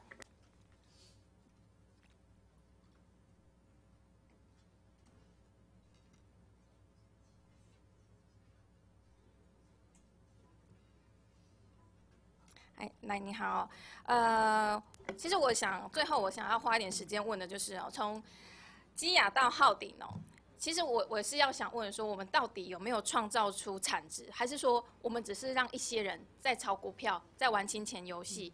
那我们接下来我们要如何去避免好这一些炒股票的人继续来糟蹋我们的生技产业。那我们要怎么样挽回这些投资人，好这个社会大众对生技产业的信心？我想请金管会这边做个说明。是，谢谢委员哦。我想金管会的话也是配合政府这边的政策的话，来协助台湾生技产业的一个发展。所以我们在上市上柜的部分的话，呃是有所谓的生技股的这样的一个规定，当然它可以豁免一些条款。但是后面的监理的话，我们是比一般的公司还要严格。所以，比如说像这个资讯公开来讲的话，贵买中心跟台湾证券交易所的话，对它的资讯公开其实是要求比较多的。那再来第二个，就是说委员关心的是有关于这个呃交易面的部分的话，其实我们的证券市场长久以来已经有一个监视的一个制度。那所以呢，其实有关公司在市场上的一些不法的情况的话，其实他们都是会列列入监视，而且我们也会跟。呃，减掉单位的话，我们是有密切配合的。谢谢。就是哎，谢谢金管会的说明哦。那其实我看你们报告也写的洋洋洒洒的，然后说你们会加强管理然后那会来抽查，然后是不是有公开资讯，然后那也会加强的查地不法。好，到底但是到底查了什么不法？哦，不要每次到事情出来后才要开始查，这样子不会有投资人敢再对啊敢再来投资这样升级产业哦。那请金管会这部分也要多加留意。是，谢谢。好，谢谢。接下来我们请陈曼丽委员进行咨询。陈委员咨询完之后，我们休息五分钟。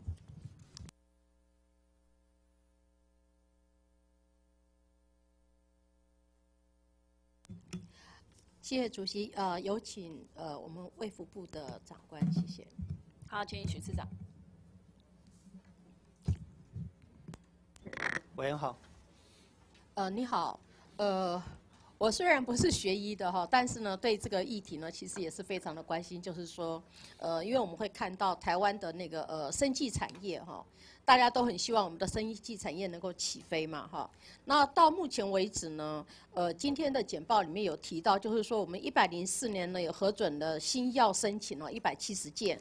但是呢，我们在去年呢，就是核准上市的是两件哈，所以可以看得出来，就是说我们其实开始申请，然后一直到它能够上市，事实上它还有很大的一个距离。那我不知道，就是说呃，我们的呃，就是卫福部的长官了，对这个部分的这个呃成果，您认为是好的还是不好的？我想这个呃，刚才也提到，整个新药的发展是非常冗长，而且这个变数非常多，而且风险非常高。所以其实不是只有台湾，其实世界各国对于新药开发了这一块的部分，其实刚开始其实都有非常多的案子，但是最后能够成功的部分，对，所以你会看到我们台湾就是说有很多的这种方案正在进行嘛，哈。然后呢，我们也看到它的效果好像感觉上是说花了很长的时间，但是它的效果呢，可能让大家还没有感觉到很振奋这样子哈。那我们当然是呃很期待有新的药、新的试剂、新的医疗的策略，甚至有新的这个呃。呃，医材哈，它都能够呃出现，然后让我们台湾都能够做得更好哈。可是呢，我们好像感觉到不是说让我们大家都会觉得好像就是说很振奋哈，好不容易好像有看到一个曙光，可是呢，最近又被大家打趴了哈，所以我就觉得好像这个产业的发展其实并不是像我们呃一般人想象中的这么样的单纯了。那我们看到在呃昨天的苹果日报呢，我们就看到了它有一个报道，其实我还蛮感谢啊，就是说媒体其实扮演一个非常重要的角色，就是它能够把一些的问题用呃老百姓。能够理解的这样子的言语来做这样子的一个陈述，所以呢，我相信很多人都有看到哈，就是说我们看到了，就是说我们台湾呢，吸干的代言者大概有五十万，超过五十万的人哈。那美国的新药呢就很贵，所以呢，像印度和孟加拉这样的国家呢，他们就发展了一些的这个呃。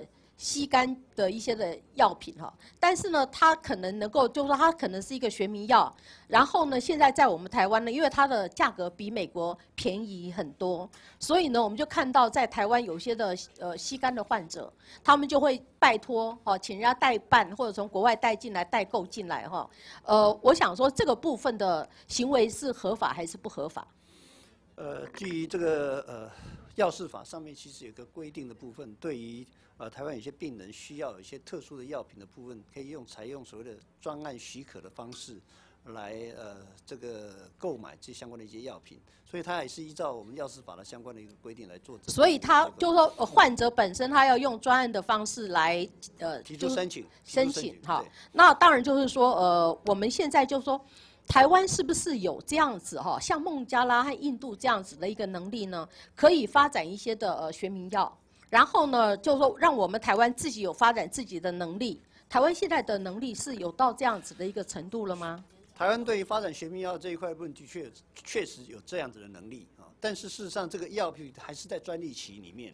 那实际上专利期，它还在专利期的情况下，其实发明出来这样子的制造出来这样的学名药也没办法上市，因为已经侵犯到这个。那请问哈，如果是说我们站在呃就是呃卫福部的这个角度呢，就是说我们希望让我们国人能够使用到比较便宜哦，而且又很方便的这样子的一些的新药，那我们国内的生技业的发展，我不知道就是说在我们的呃卫福部里面是不是有一些前瞻性的规划，还有是不是有一些的。呃，瓶颈哈，然后我们需要去疏通的，有没有这样子的一些的环节，可以让我们在这个现场能够了解一下？第一个部分是有关于这个专利的这一块的部分，的确，它是新的药，它一定有为它投资这么多的时呃时间跟金钱，它一定要法律给予相关专利的保障，所以我们通常都是在专利过了后之后，我们台湾的药厂就依照这个药品这部分取得相关的原料药，就发展出新的这个所谓的学名药，不是新药，就是学名药。啊，那学名药一出来的时候，其实新药的这个价格就是大大会往下，呃，原厂药的部分就往下降。这大概就是在市场。所以我们有一些的鼓励的措施正在进行吗？我们其实现在对于这个这个呃呃学名药这一块的部分，有一个审查的相关的一些程序的部分。这个程序的部分是依照学名药审查的过程，是好，接下来我想要问一下那个药害的救济哦，因为我知道就是说我们呃卫生福利部也大力的在推动 HPV 啊，就是子宫颈疫苗的这个。部分哈，子宫颈癌疫苗，那这个部分呢，我们现在哈已经看到了哈，就是说像日本，他们有三百三十八万的女性，因为这个是子宫颈癌嘛，所以都是用在女性哈，所以呢，日本有三十八万的三百三十八万的女性，其中有两千五百八十四人呢产生了副作用，而这个副作用呢是全身的疼痛、发麻、视力弱化哈，退化了。那我不知道，就说在我们台湾。呃的反应会是怎么样？我从呃官方的这个系统里面得到的，就是说，哎，我们台湾没有这样子的一个状况哈。那但是你看到日本就有十二名的受害者，他会向他们的日本政府，还有向日本的厂商哈申请一些的球场。但是我们台湾说没有这样子的一个状况，可是我不知道这个台湾的根据到底确不确实？我们有没有去调查？我们有没有一些的应应准备的这样子的一个状况呢？是。我们对于这个新的这样的药品上市，其实都有做相关的一些不良反应的这个监测。那这个，所以我们台湾是没有吗？有，有，我们台湾是有监测这样子的一个药品的反应。那现在目前我们收到这样的通报的部分，总共在一百四十六件。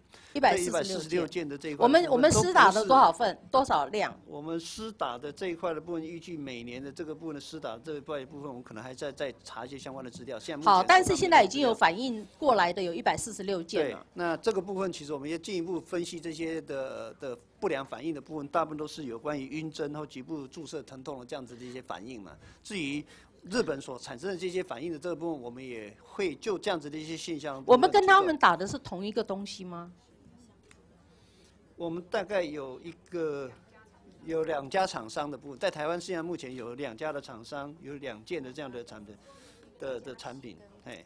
好，我希望把这个资料再提供给我，好吗？哈，好，接下来我想要问一下我们的药品回收的这个部分啊。当然，药发展出来了以后，就很多人会开始使用，使用了以后呢，它的这个回收到底回收去哪里？哈，那目前我们看到以新北市来说的话呢，他们调查了大概有四成的民众哈，他的吃不完的药呢就丢在垃圾桶，或者他随便乱丢，哈，因为都的体积可能都很小。那但是呢，我们就很担心，就是说有一些的药品呢，它其实是有一些的抗生素，还有一些的呃内分泌的干扰物质。这些东西如果它流入到我们的河川、土壤，那它会伤害了我们的自然的环境，甚至对于一些生态也会受到一些的影响哈。所以这个呃环境荷尔蒙可能这都有一些的呃这样子连带可以牵扯哈。那我不知道，就是说我们在呃卫福部本身，我们对这些的呃药品回收的这个部分的追踪，我们到底有没有？像新北市这样子，曾经做过一些的研究哈。那我们到底我们回收的统计量到底是多少？它占的比例是多少？我想这个回收的部分，现在是各县市的呃药师工会跟各县市的环保单位的部分来共同合作。对，可是到后来其实是应该我们呃中央主管机关要有个总数啊。在收集相关的一些资料，对于如何处理这个部分，我们也在跟这个。呃，收其他各国对于家庭的这个废弃药品的处理的现况的部分，也希望能够建立一套比较呃一致的这样的做法。那现在问题是说，这些收回来的东西要集中，然后要受过。这个呃环保单位要去做焚烧的这样子的一个处理嘛，但不能倒入河川或者丢入马桶的这样的方式来处理，这个是我们现在一直在请民众注意相关药品的处理的部分的。对，所以你们有没有这样子的一些的研究的，就是说比较确定的，能够让我们知道是说，呃，我们的中央主管机关也在做这一方面的努力呢？要不然的话，我们真的非常担心，四成的东西其实是到我们的大自然里面去了。是，嗯，这一块的部分，我们再会跟，因为回到大自然嘛，所以我们都会跟环保署的部分，也这个针对这个部分有。好，那我也希望你把这个相关的资料提供给我好吗？因为我也很担心哈。好，再提供。那接下来我想要问一下哈，就是说我们的在卫生福利部这边呢，有管理我们的食品啊。那食品的管理呢，我们是用有效日期，有效日期。刚刚我讲的是药品的丢弃哈，那我现在讲到是我们的食品的丢弃。呃，根据我们现在呃。媒体上面的报道哈，我们看到就说四大超商呢，四大超商，四大超商哈，每天报废的这个鲜食呢，平均大概有两成，大概可以来养活五千头猪，五千头猪哈。那这个当然有些是呃过期品，有些可能是快要过期，他们就给它下架了哈。可能包括我们的食品啊、蔬果啊、鲜食啊这些东西。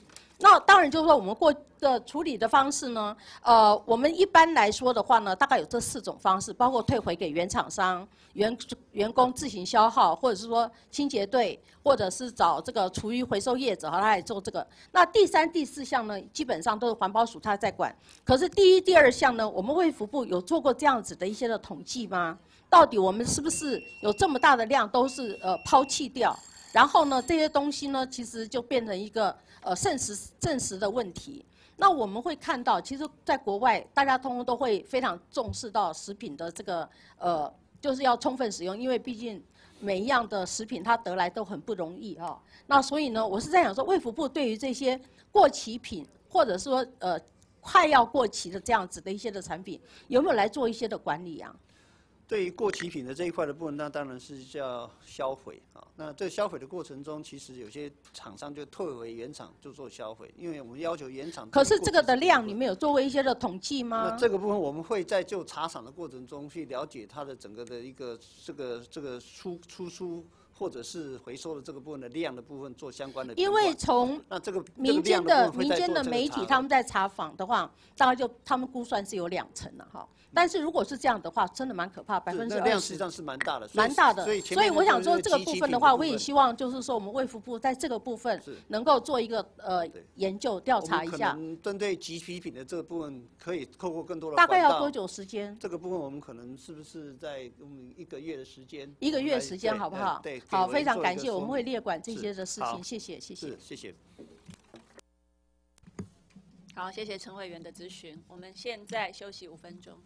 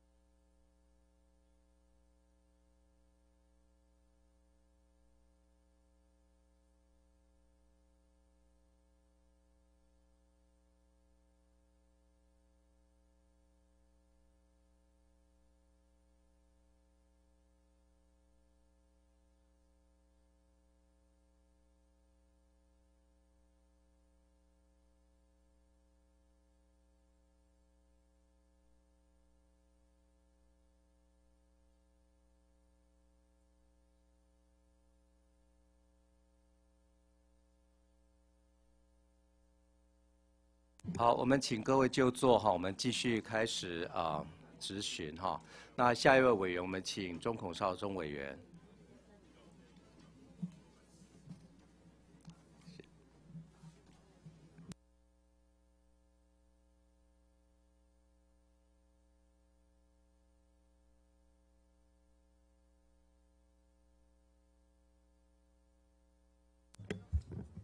好，主席，啊，有请次长，啊，跟好，我们请国会议员许次长。国会议员今天也有来，那个江主秘，委员好。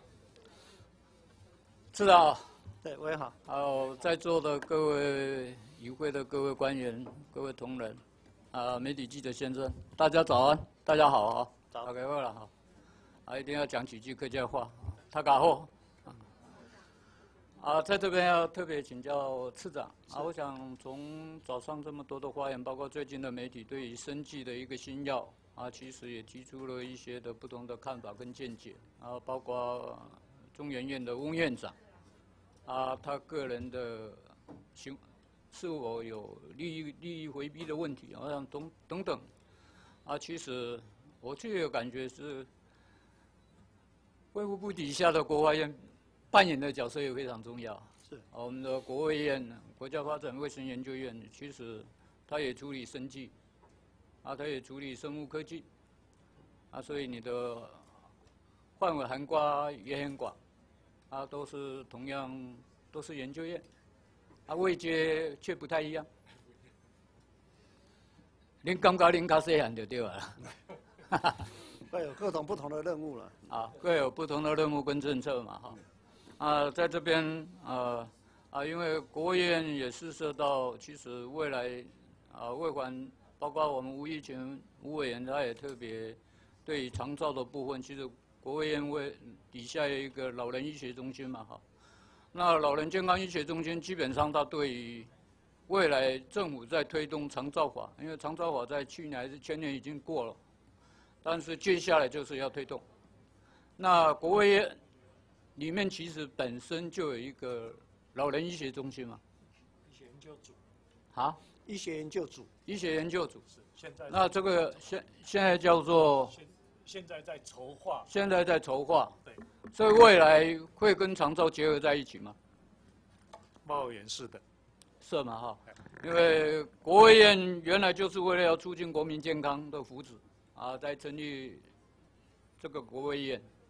那对于国民健康的一个福祉，那是涉到国民的健康，啊，也牵扯到未来的台湾人口的老人化。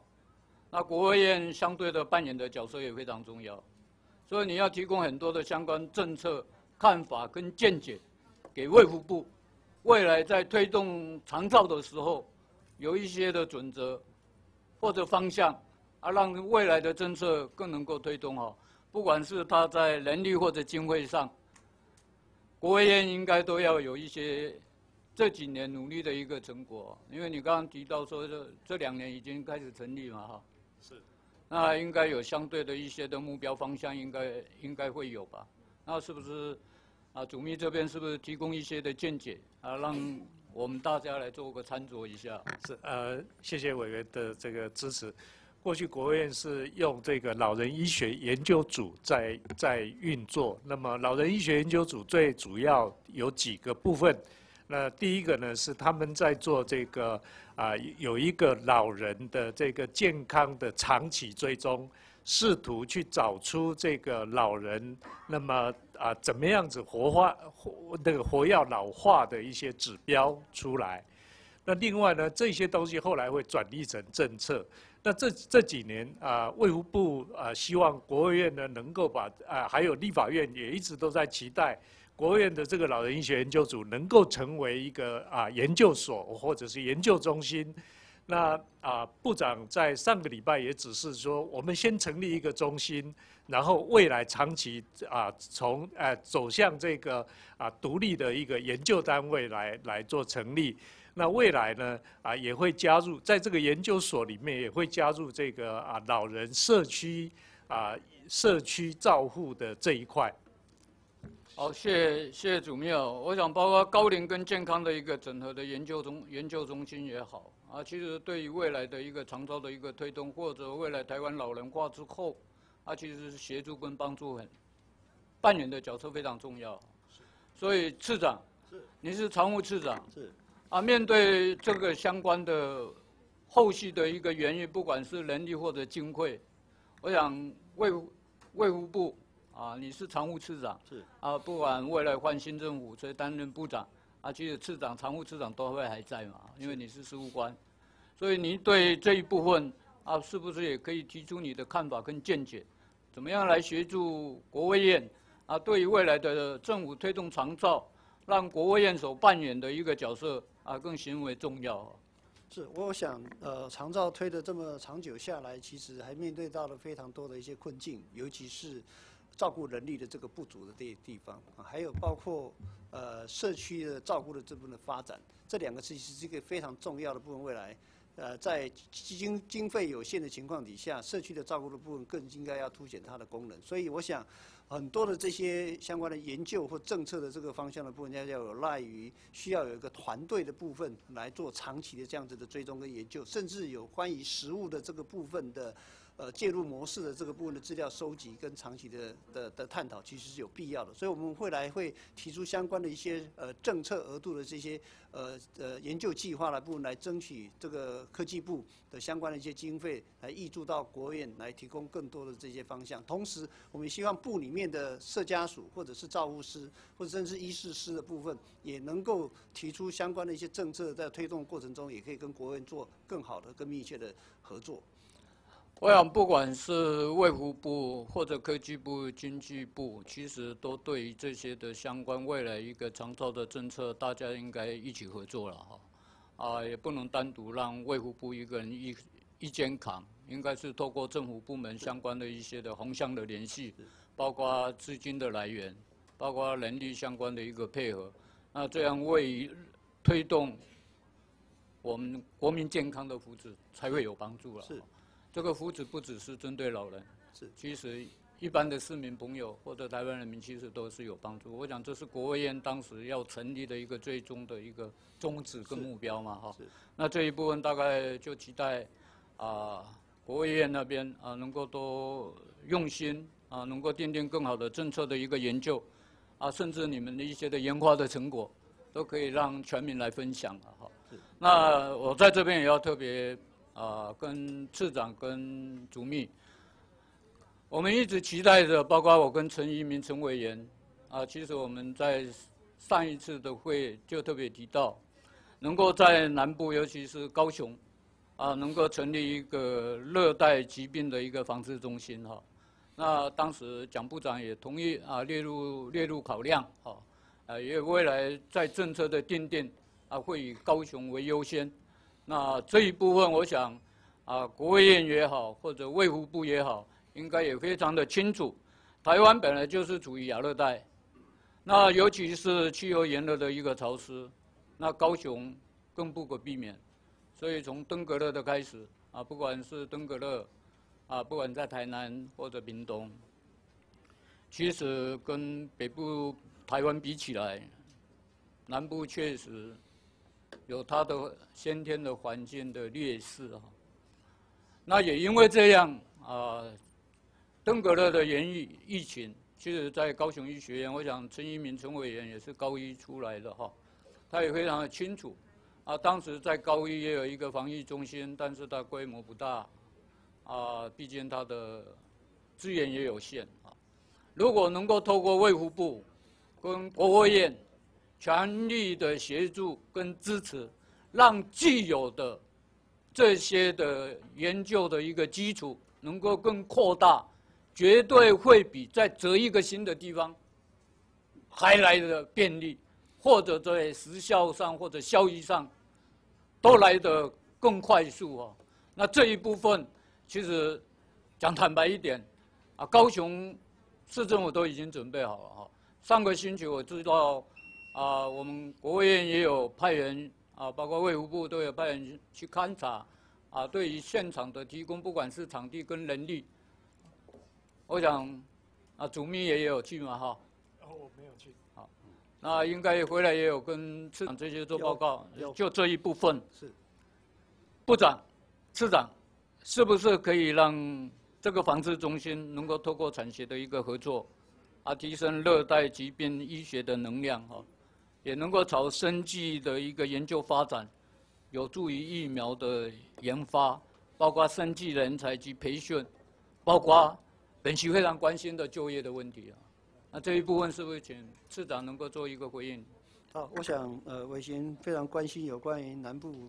呃，相关这个传染病的这个部分，尤其是蚊媒传染病的这一块的部分，那事实上，呃，在经由这个呃行政院呃中政委的协调之下，已经呃决定在这个国家卫生研究院成立一个蚊媒传染病防治研究中心。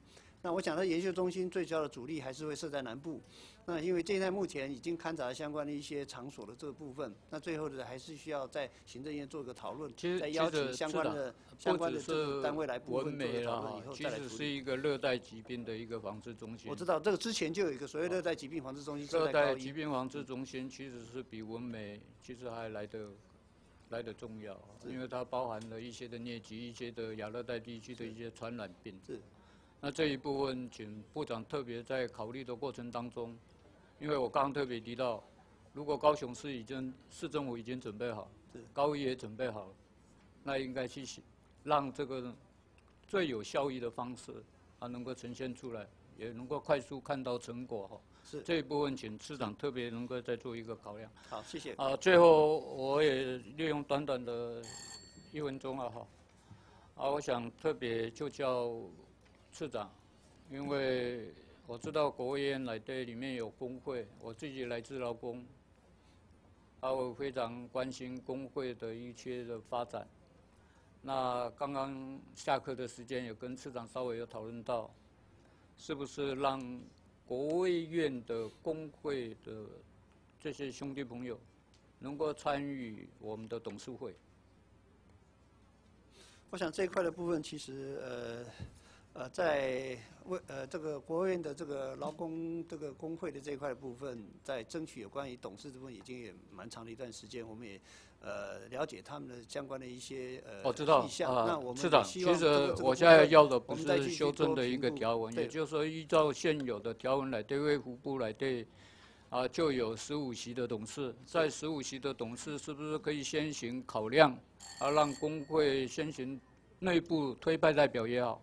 或者工会内部去研议怎么去推派一先有一席的劳工董事了哈，啊未来再逐步来修法，啊最快速的方式大概就是在十十五位的专家学者来对，或者你们内部的成员来对，让工会去参与，其实劳资互相的一个，让工会也能劳工也能够参与到经营的一些的管理权，啊其实对劳资双方的一个互动是非常有帮助。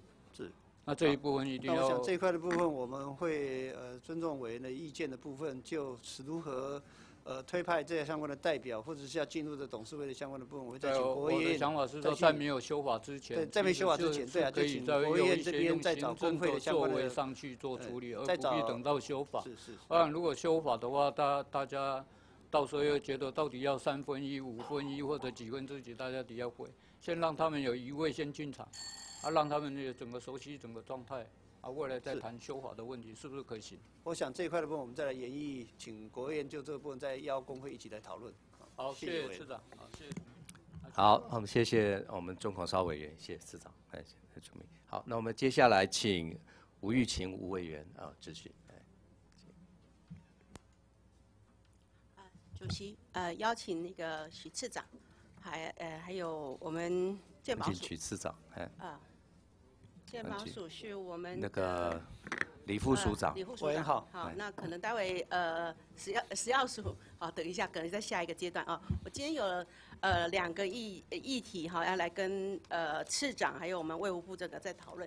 次长说没有看到这个报纸，昨天呃苹果啊两个哈两个版面哈两大版在讨论吸啊吸干的这个药品哈。那我想，呃，就两个部分要跟呃卫福部来做讨论哈，呃，因为我觉得还有一些疑虑是做需要做一些厘清哈。呃，我觉得在这个部分，呃，吸干这个药新药哈，炒得这样沸沸扬扬的啊，那报纸有做这么大幅度哈，我不知道它是不是有呃。在讨论上面确实有让民众更了解这个吸吸干这个新药的一个状况。但是，好，到底这个药品，我因为呃卫福部是专业，它到底有没它的价值有没有被夸大，好，或者是被呃高估哈？因为我们过去看到呃一些呃像妇女吃的更年期的荷尔蒙的一个补充药品，也发现有导致乳癌的一些风险，哈，那现在刚刚呃也提到日本呃在这个子宫颈癌疫苗啊三百。多万的人打了之后，有两千多人有异有问题。最近他们也有十二个哦年轻的女性要去跟呃这个药厂打官司。那这个其实后面有一些风险啊。那到底这个新药好以以卫福部也核定了好七张的一个证药证的哈？到底它的风险以及它的价值是不是真的有这样的一个价值？真的可以治愈到呃可以到百分之九十七啊，甚至呃有的是八十二到九十二九十二。我想这个药品的部分，对于食药署的部分是针对它的安全有效的部分。那有效有没有到达那个标准？我等下等我们那个食药署的同仁来跟我做说明。那这这一个部分到底有没有达到那样子的疗效的部分？它有没有那个价值的这一块的部分？那是回归到市场的机制。那我们对于食药部在政府管理的部分，只针对它是不是安全有效可以上市。那假如说它没有安全有效，也不会让它上市。那上市以后，它要这个市场上面要有多少定价的这一块的部分，但是回归到市场去处理。那现在它要申请所谓的鉴保给付的这一块的部分，那也有一个鉴保的程序。等一下也可以请这个副市长来跟大家做的说明。所以纳入的问题是呃，请那个 CDE 的这个这医师来讲一下，就当初在审查的时候，它的这样子的一些效果的部分，比较科学的这个数字的部分，是不是？它应该是有效，不然不会让它过了哈，是不是？应该是这样的议材嘛哈，应该是有它一定的效果。啊，只是他现在的讨论就是呃定价非常的高了哈。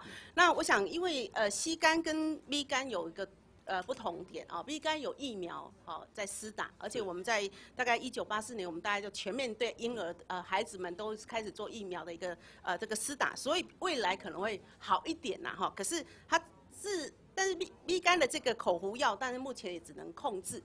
好，不一定完全能够呃这个治愈哦。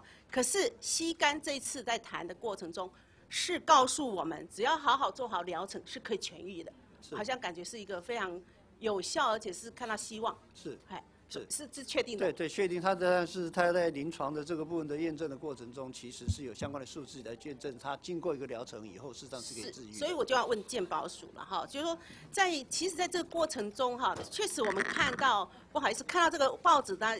很多的病人是买不起或吃不起这个药了哈。如果在没有健保的一个呃这个支付下面，确实是付不起啊。有的道理一个疗程要两百多万哦。其实一般老小老百姓是呃吃不起的啊。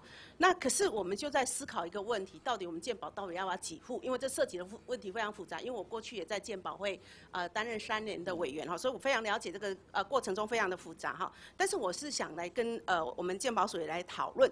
到底它贵哈？那可是，在我们 B 肝的药品里面，其实都是我们药品里面大家都居第一位哈。一年大概是快二十亿左右的一个费用，但是还不一定治得了哈。可是吸肝却是可以治疗、治愈好。那到底哪一种药是值得？因为 B 肝是要吃一辈子哦，可能。嗯，报告委员，目前这个吸肝在临床试验的报告，它确实是。呃，可以把病毒清除掉，可以治疗，但是因为它不是像 B 型肝炎有抗体，所以这些人还是有机会会再感染。哦，所以虽然治好，但是他如果接触的来源里面还有，他有机会再来再感染。那目前这个药目前在呃台湾有三家药厂有四个许可证，呃拿到了，那来跟健保申请。那国际上的药价哈，那差距非常大。那在美国一开始的时候，呃一个病人的疗程需要八万块美金。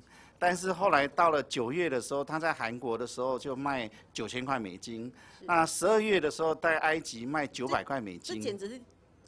有差到一百倍这样，那目前这三家药厂跟健保署在申请的时候，大概呃申请的价格从三十三万到一百六十四万。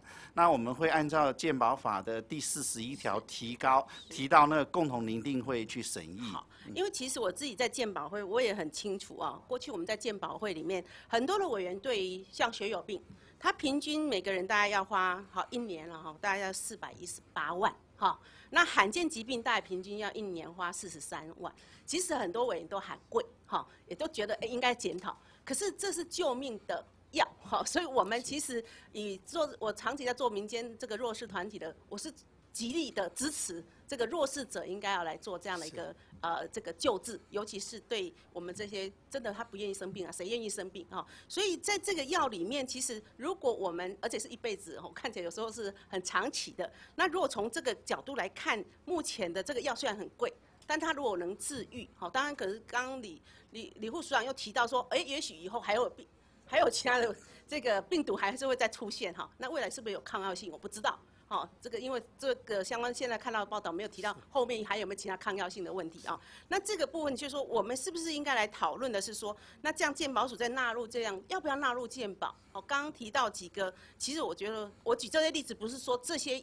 呃，怎么罕见病疾病不要救，或是血友病不要救，这个都要救。但是这些吸肝的病人到底要不要救？那这个评断的标准，你刚刚提到，其实好像也没有很确认，就是还在谈价格，已经在纳入考虑了，但是还在谈价格吗？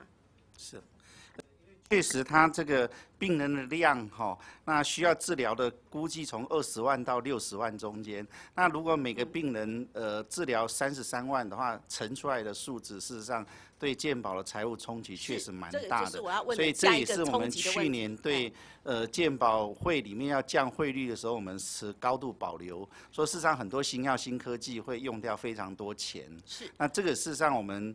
在药品共同一定会讨论完以后，如果财务冲击很大，会提到健保会去让健保会讨论说，哎，这个东西财务冲击会不会对我们的下一年度的总额跟汇率要需要做调整？因为我从报上或是刚刚您提的一个人如果三十几万，然后呃我们的案呃病人的量又这么大哦，我看到报纸上提到你们十年要编八百亿的哈，这个一年大概八十亿，如果这样出估哈，你提到健保会，我相信。我一届第一个就跳出来反对，因为这是新药，就会占掉它的总额哈。那我不知道到底怎么办，因为我们过去在呃讨论的过程中，呃，意见就对新药要放在，反正新药放在总额里面，它就是第一个跳出来，因为它会吃掉它其他的预算。有没有其他的策略？因为像 B 肝，我记得早期是用专案的方式处理，可是这个确实是一个一大很大的一个金额了哈，所以这个我我觉得是要做一些审慎的评估。我不知道呃。呃，健保署有什么样的一个考量？呃，这里面就看，如果我们能够争取到接近埃及的要价的话，那个财务冲击就很小；如果我们付到跟韩国一样的价格的时候，财务冲击就很大。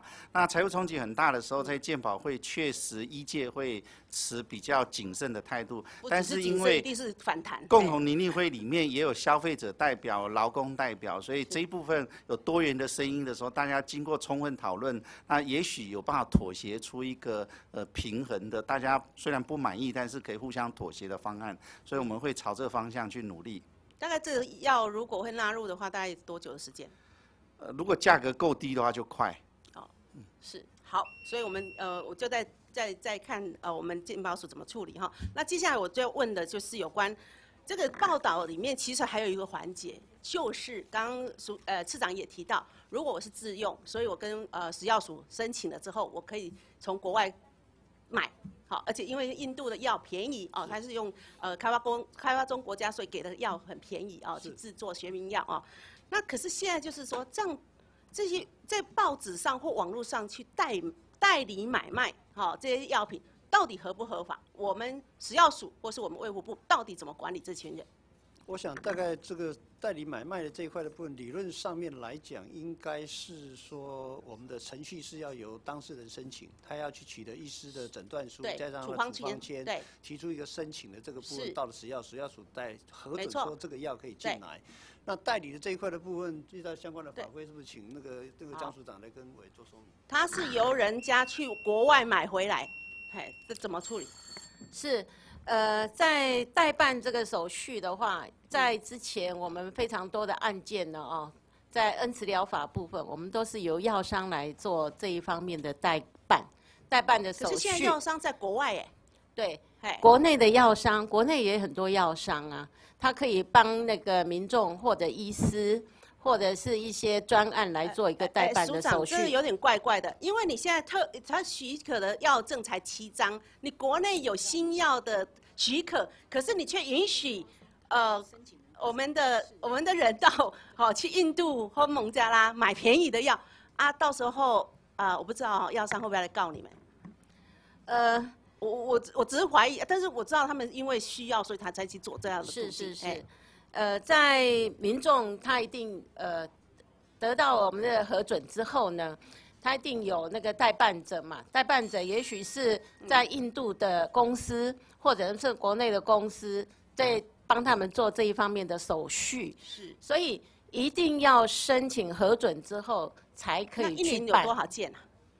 呃，据我们的统计哦，是上个月是最高潮，三月份最高潮是二十九件。那平均从去年的五月一直到现在为止呢，呃，一个月大概是二十件平均。好可是署长，你要注意到有一个问题哦，现在这些代办者还是有很大的利差，他还是要手绘到五十万哦，这个又变成有一个，如果我是自买，然后我是合理的，就说不是价差这么大，又是来一个中间有图利的情况哦，这个我觉得你们该查哎，好，不应该放任这个代理的人做这样暴力的一个呃这个剥削这个病人。这你们都没有去查嘛？因为报纸报的好大。是，呃，我们这几天同仁有都在有在查，网络上或者是在其他的行销手法上面，是不是违反到我们药师法的规定？嗯，好，我觉得食药署，因为你看它标题写政府失职，好，所以我觉得我们是应该加紧做程序上，如果它合法，就让合程序合法的部分能够让病人拿得到药，可不合法的部分，我觉得你们应该查，因为它有点有一些部分是暴力的。哎，是，好谢谢委。员。好，我们谢谢吴玉群委员，好，要谢谢次长。好，那接下来我们请李燕秀李委员。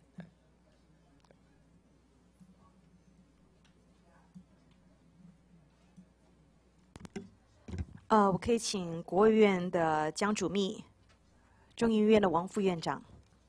好，我们请江主秘还有王副院长。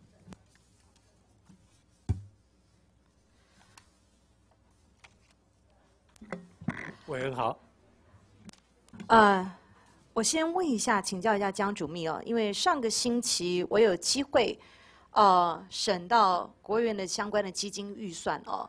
你们每四年，我特别看到，我对有有一笔预算是有意见，也提出很多的质疑跟疑问哦。你们每四年都有一季，譬如说你们，我看到你们今年我审的预算当中有十六种新药哦。那你们也跟民间合作做了一些权利金的交换哦。那呃，我特别关注到说，哎，为什么十六亿只拿四千万的权利金哦？那这个议题我不知道你那一天在不在，但是回过头来，我先请教一下江主秘，像我们跟民间合作、产学合作或技术转移，我们有没有相关的利益回避的规范？是报告委有国务院有这个啊、这个国务院的这个利益冲突管理要点。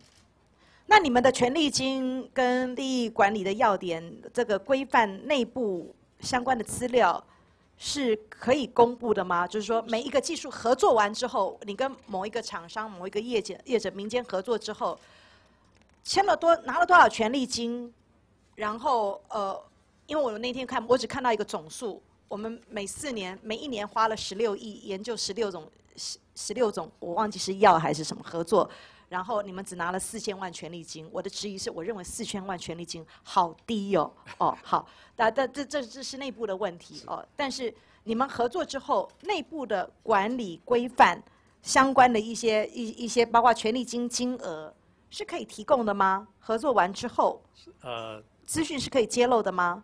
那个是在我们的这个内部啊、在我们的这个技转中心在做全院的一个管理。那么我们根据国务院的这个冲突要点管理的第六点要求啊，所有的这些发明人或者是计划主持人，主因为我时间不多，你简短回答我。就是像如果我看完那一天四千，你们你们我们花了十六亿四年，哦，你我你只拿了四千万权利金，我现在如果给你调资料，是我要看相关的，你每一个亿，你每一个合作案拿了多少权利金，规范跟哪一家厂商后续签约，这是哪些资料是可以公布的？呃，跟委员报告啊，这些这些因为是签约金跟这个这个权利金呃里里程碑的权利金有一点点区别，啊签签约金会比较高一点。那因为它是分分年分次去，好，那我回过头来再请问你，那相关的利益冲突揭露书里面，你们的揭露书跟目前所知道的中央研究院的利益的揭露揭露表一不一样？你有没有二等亲里面要不要填？要要要你们子女要不要填？是不是在呃规范里面？是因为你提供的这个表里面哦，对于子女成年子女要不要填，我没有看到，是你们要不要填？要跟委员报告，我们的这个第三点，他就规定哈，配偶或共同生活的家属以及这个二等亲以内的，包括一等亲、二等亲，这些都要都要都要。所以是要的。好，谢谢江主秘。是，谢谢。呃，那我要请教一下王院长。王院长，这跟您个人没关系，但是我今天身为民意代表，我对中央研究院就在我的选区，我一直很高兴，我有机会跟中央院当邻居。但是我今天我要很抱歉，我要我要请教您，哎有关我们中研院技术转移的这个揭露表当中，刚才我听到您回答其他委员讲说，我们不需要填二等亲这个表格，是不需要填，还是它已经含在里头，还是他已经成年？你要不要再快速回答我一下？我目前呃，我们的写法是这样哦，这个是经过那时候我们的法务啊、写的哈、那就是说这个呃，第一个是当事人、配偶还有共同生活的人嘛哈、那至于这个二等亲的二要不要填？其实王副员，你直接回答，因为我今天时间不多，每个人就十二分钟。对对，二亲等，好、那我们为了要这个让填表人比较清楚到底什么是包括二亲等，所以我刚才念的那些里面，的确是没有包括子女。好，所以没有包括子，所以这是跟国卫院有很大差别的地方。好，王副院长，哎是。经过这个事件之后，你认为二等亲要不要填？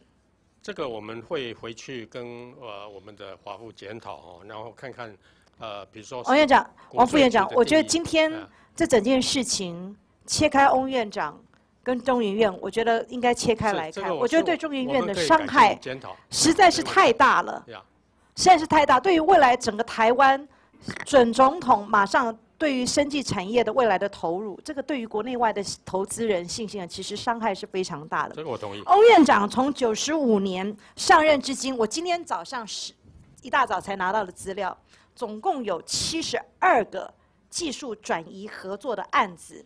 你们今天回答我说，有关签约单位、金额、权利金等资料，没有办法提供。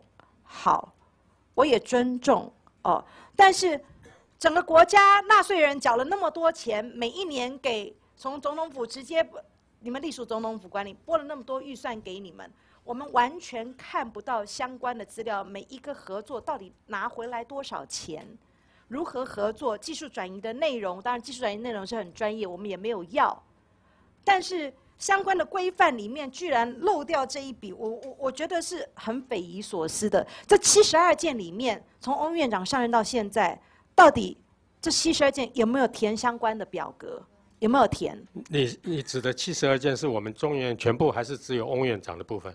七十二件是翁院长九十五年十月上任到现在，哎有七十二个技术转移案子，想每一个是今天案子都都有填都有填表，但是二等亲内的子女的不要填，因为没有在表格里面，所以就不需要填，对不对？好，呃王副院长，是今天早上，翁院长写了一封信，说他愿意接受中研院的这个伦理委员会的调查。是您刚才回答其他委员说，哦，这个不是之前是其他的研究员写的，并不是院士写的，所以这个可能委员会还不能成立。好，今天翁院长他自己不不是我我我必须厘清，我们有一个呃这个叫做伦理委员会，这是本来就在的，好好这个但是谁谁要提出一个案子，那欧院长本人如果说他愿意接受调查，不管是这个利益冲突也好，或者是伦理委员会，是你们可不可以立即召开？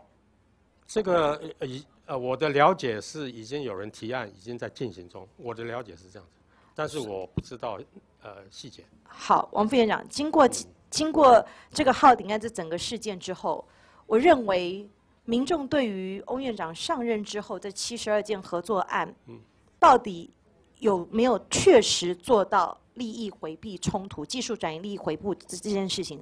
我觉得大家是有问号的。特别是之前翁院长到文科研究所的时候访视说：“哎呀，哪些是可以做技术呃申请专利的？”被很多研究员认为，现在中研院已经是铜臭味十足，有一个最高学术单位，既然访视的。翁院长到文科研究所去问说有哪些技术可转移？哦，我不知道这是不是真的。如果是真的，那我觉得这是会让中研院蒙羞的。所以现在很多人对于中研院翁院长上任之后这七十二件技术转移也没有确实做到利益回避，大家是有问号的。对不起，王院长，我必须要这么说。所以你们要不要回去把这七十二件？翁院长上任之后的技术转移合作的案子，好好查清楚。包括刚才国卫院他们的这个这个利益回避的记录表里面，他是没有回避这个子女哦。那你们要不要去好好查清楚？我不知道，翁院长虽然大家现在外界媒体上我们大家看到的似乎他有牵涉到利益回避的问题，未来或许还有可能有司法上的案子、法律上的刑责。但是回过头来，我们不仅要问这七十二件到底还有没有问题，所以你们要不要回去好好查清楚？好，那我呃，第一个我呃刚刚接到的资讯是，那个七十二件是我们全院的，不是翁院长，所以我一直在问。对，我知道是全院，对，全院。但是包括每一个技术合作案子，是是，你们有一个委员会嘛？能不能合作？要跟要不跟谁签约，拿多少权利金，你们都没有办法提供给我的，是你们内部的讨论嘛？洪院长有一些东西，他有他有一定的角色在里面，对不对？业界有一些保密协定，对我我都尊重。但是我我的意思是说，能不能合作，最后决定多少权利金，这是最后院内开会讨论。是翁院长他绝对有一定的角色，在这七十个合作案里面。拍板定案。翁院长对每一个案子没有说特定他有什么角色。我们因为有一个管理委员会，管理委员会会去讨论每一个案子计转相关的事情。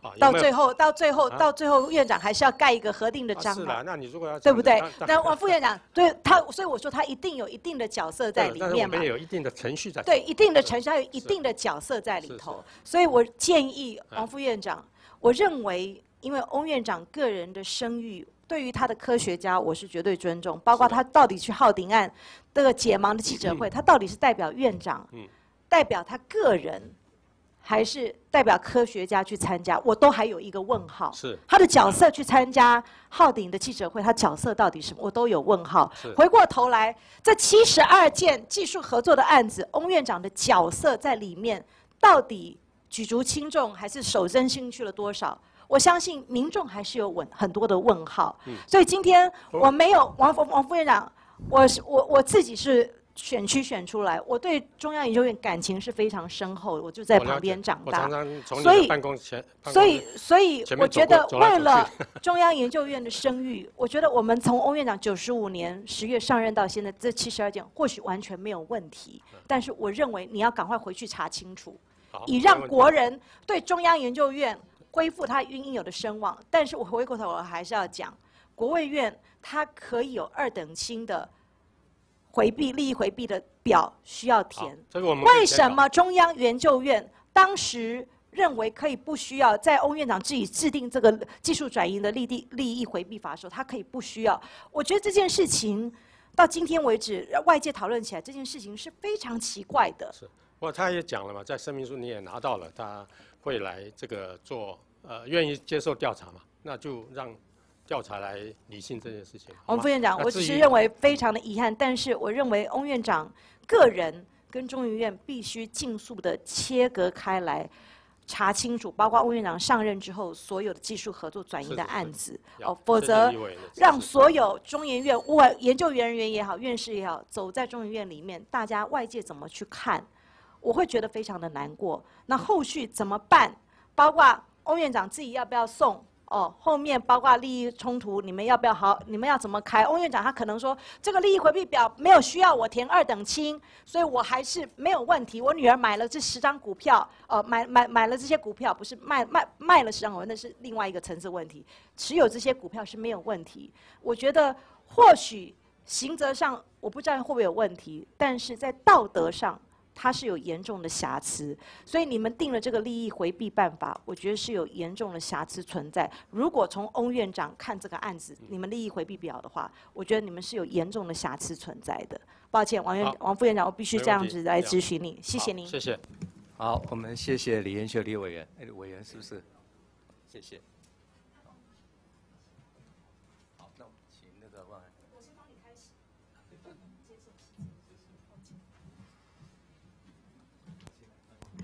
啊，我们现在请这个呃陈一鸣陈委员开始质询。好，嗯，谢谢谢谢主席。那我们请那个梁启明梁特聘研究员好吗？哎，好，好，好，那也请国务院的那个江江主秘，好，好，谢谢。好，那个那个梁老师，好，你好，哎。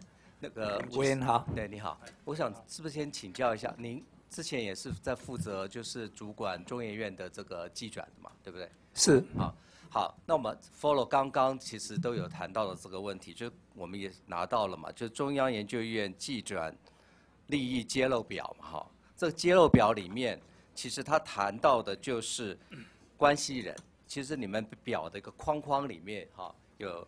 有写到说当事人，呃，这之配偶或共同生活之家属啊，这是关系人。另外就是当事人之二亲等以内的亲属嘛。好，是。那我请问一下，那个二亲等以内，那是不是包括一亲等？啊，向委员报告哈，那个时候我们在设设这个。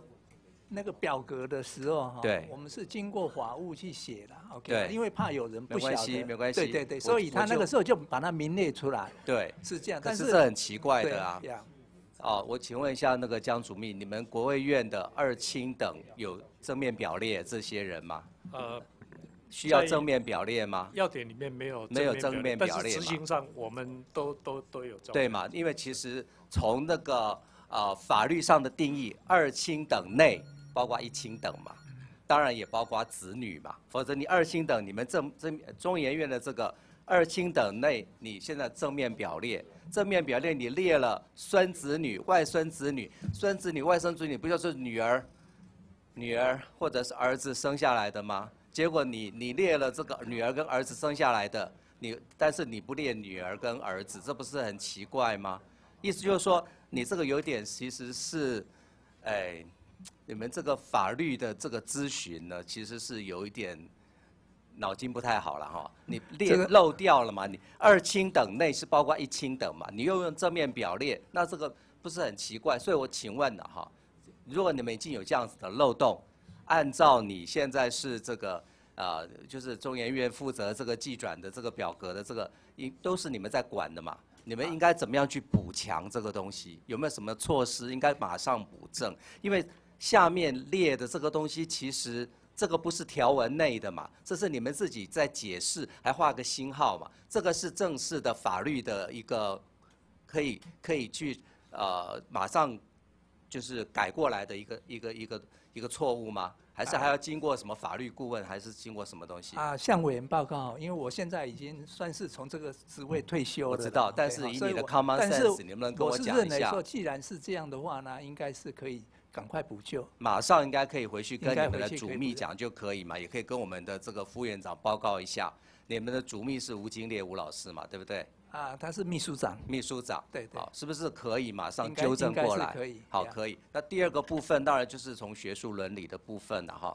本席其实在上次，嗯，就是我们有行文跟中研院就是要这个学术伦理委员会的名单呐，但是你们说这个是机密文件啊，不能。告诉好，告诉全国哈，就是你们的学术伦理委员会有哪些人？我请问一下，那个江主秘，国卫院学术伦理委员会的名单是可以公开的吗？学术伦理委员会包括了呃很多的代表，当然也包括社会公正人士嘛，对不对？是。但是而而且要互推一个主席出来嘛。那学术伦理委员会其实是很重要的一个中立的机构，就是要去做针对这个很多学术的伦理的相关的纠纷或案件要去做审核的嘛，对不对？哎，那但是这个这个名单是可你们国务院有公布这个名单吗？还是也是一样都是机密文件？不，我我个人现在不是很清楚，我可能需要回去了解一下，再跟委员报告。好，我我想这个其实就是大家关心的部分嘛，就是中研院学术伦理委员会现在针对这些案件，是不是应该有一个呃，就是中立的立场，然后来来做一些审查了哈？我想这个是呃大家关心的。好，谢谢。那我请那个呃许许次长是不是可以呃上来一下？好，谢谢。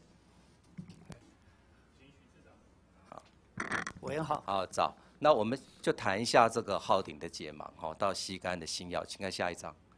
我想大家都很清楚啦，你们有这些规范在了，哈，那我们就直接进入主题，问一个问题，就是你们有这些规范，但是解盲之后，好，这个张念慈董事长又说这个是失败中的成功，所以他们有希望说，他们希望说将来能够嗯跟这个。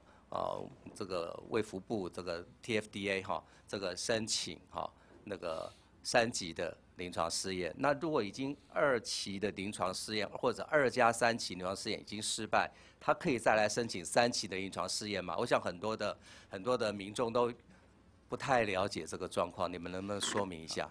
现在其实，在 FDA 这边还没有收到他最后不是我说以 general 来讲，以 general 来讲的时候，他今天如果还再来申请一个三期，那他是不是拿他现在二级加三期的这些资料，可以佐证让他可以再申请三期？那还是要看他二期的资料，二期的资料可以的话，那我们就可以让他做三期。那当然三期还有他的所谓的实验设计的这个部分的相关的 protocol，像他的这个计划书的内容。所以二期如果已经失败，还是可以继续走三期，是可以的。现在就是所谓的失败是他讲，那他是说解盲的这部分是效果的这一块的部分，是没有什么显著的差异的。好，下一张。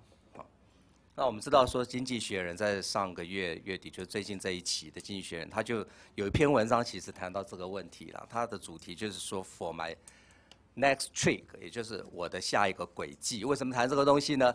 因为他们就谈到了。现在其实有很多的药厂，他们在做临床试验的时候，他们很多的那个最后的这些指标，他们常常就是不遵守他们临床试验的设计。最后的他们的报告里面，他们找到一些可能有效的指标，然后就来申请好药证，然后有时候有时候就不查，然后也被通过。所以其实美国的 FDA 最近就罚了哈 GSK 好葛兰素药厂。三十亿美金，因为他们有个药，好叫做 Paxil，这是治疗啊青少年的抗忧郁症的，哈的一个药。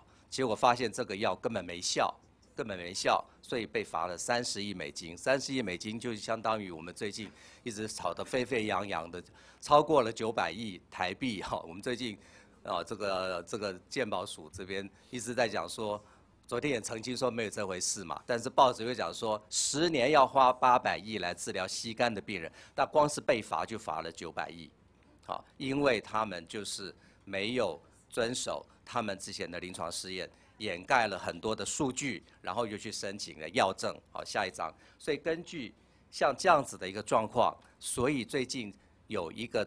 呃，有一个机构，他们组成了一个叫 Compare 的这样子一个调查，他们调查了五大的这个呃主要的这个医学的期刊哈，包括这个 New England Journal Medicine、JAMA 哈，怎么 BMJ、Lancet，然后他们在这个 evaluation 才三个月，他们就发现说，在将近六十七个临床试验里面，有符合规定，有最后报告是根据他们之前 study design 做的，只有。只有八件，也就百分之八十几，哈，八十六的这个，其实他的这个报告里面都有跟他的临床试验的当初的设计是不符合的。好，请看下一张。所以我要请教是说，TFDA 有没有类似像 Compare 的机制，会有系统的，好去分析临床试验？也就是说，将来如果包括浩鼎或其他的好新药的这个呃公司，他们跟你申请药证的时候，你会去调去很清楚的去去看这个资料嘛？也就换句话说，你不会被蒙蔽嘛？有没有这个机制？我我想这一块的部分，其实过去我们对于临床试验的部分这块也是这样非常严谨的去处理，因为临床试验是核准了以后，它可以做临床试验，临床试验最后。所研究这样的结果的时候，送到卫部来的时候，我们就他所得提供的报告部分，除了他书面报告以外，还会实际到各个临床的试验的中心里面去了解他所收集资料的过程，包括连个案的这一块的部分的的相关的资讯。那有法则吗？那这一块的部分是对于这个过程中。的的结论的部分要不要做转驳的这个部分做处理？那会处理有没有罚则这一块的部分就回归到临床试验准许的部分是 A 的这样的 protocol 走另外的一个部分。那当然第一个部分它的所谓的医院的 IRB 的部分是不是有做好 monitor 的机制？所以有没有罚则？对，第二个部分就是在回到医疗法的相关的部分予以相做相关的这个部分的一个处理。好，下一章。好，那我最后谈一下吸肝的问题哈。其实今天很多委员都谈到这个问题，我们吸肝情况是蛮严重哈。国内这个整个的人口，哈，可能感染的人数是超过七十五万人。好，根据陈培哲院士的资料哈。好，下一张。好，那这么多人得到这个疾病哈，然后我们苹果日报也也登了这个呃现在的吸肝新药嘛哈。那呃，其实我跟这个刘建国委员在昨天也有参加一场。一场号称是是四个公关公司的办的会议之的其中一场了哈。那不管怎样，我们要看紧民众的荷包，但是我们也希望能够为这个呃穷苦无依的病人。买不起这个药的人，必须要要讲讲话了哈。这个其实是很重要的，但是以现在看起来，这个吸肝的新药这么的昂贵哈，超过两百多万的这样的治疗的 protocol。但是我们也发现说，有一些具有爱心的医师，他愿意帮忙开处方签，让病人可以专案的申请学名药进来，从印度。孟加拉申请学名药进来，说要请教的是 TFDA，像这样子的医师，他的这个处方签，你们有保帮他保密吗？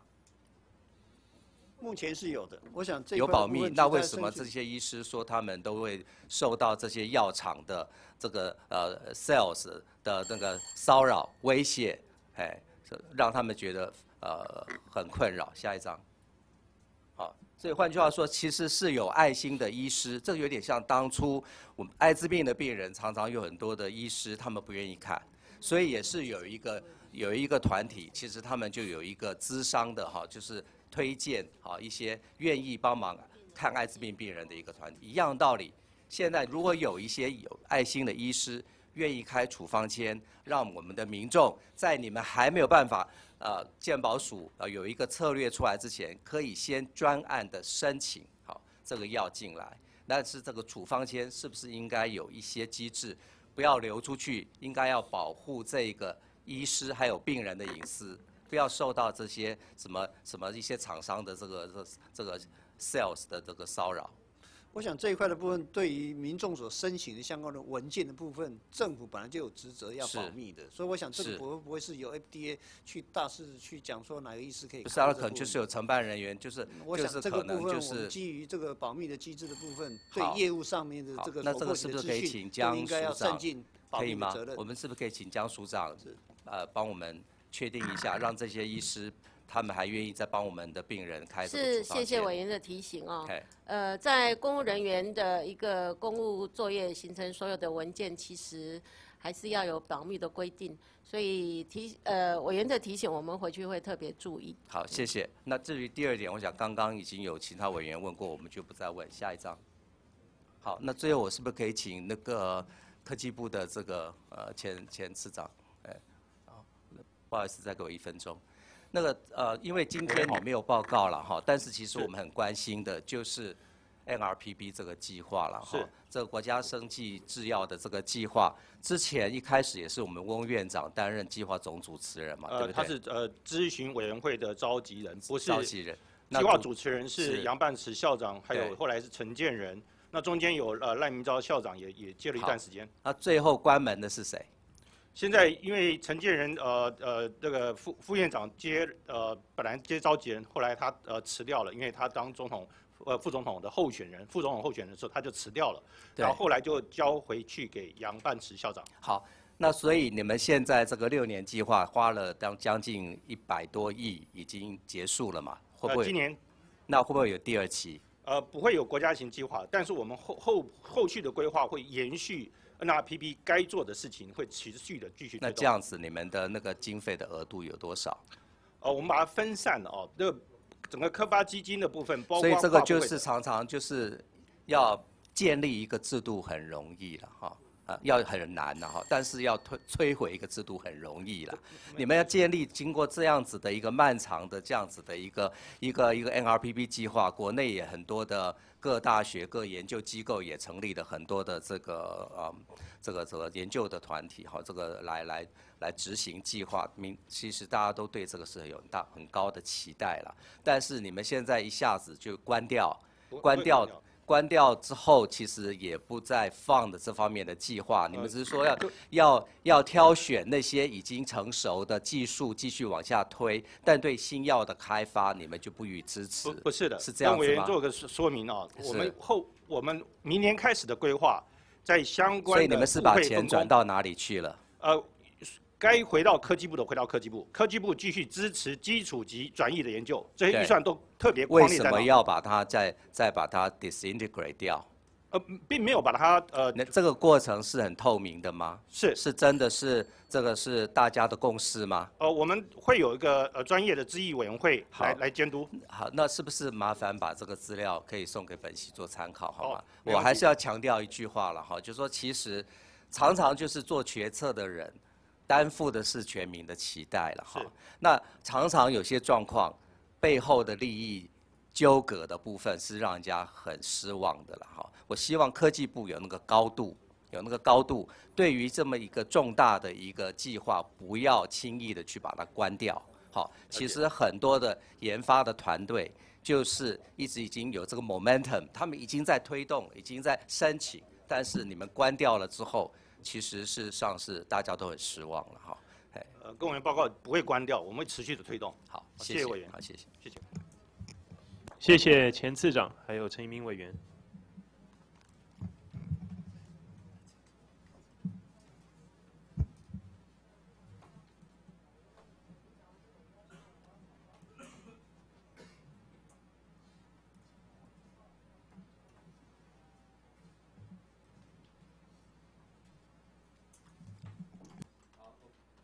好，我们接接下来，我们请蒋安安蒋委员。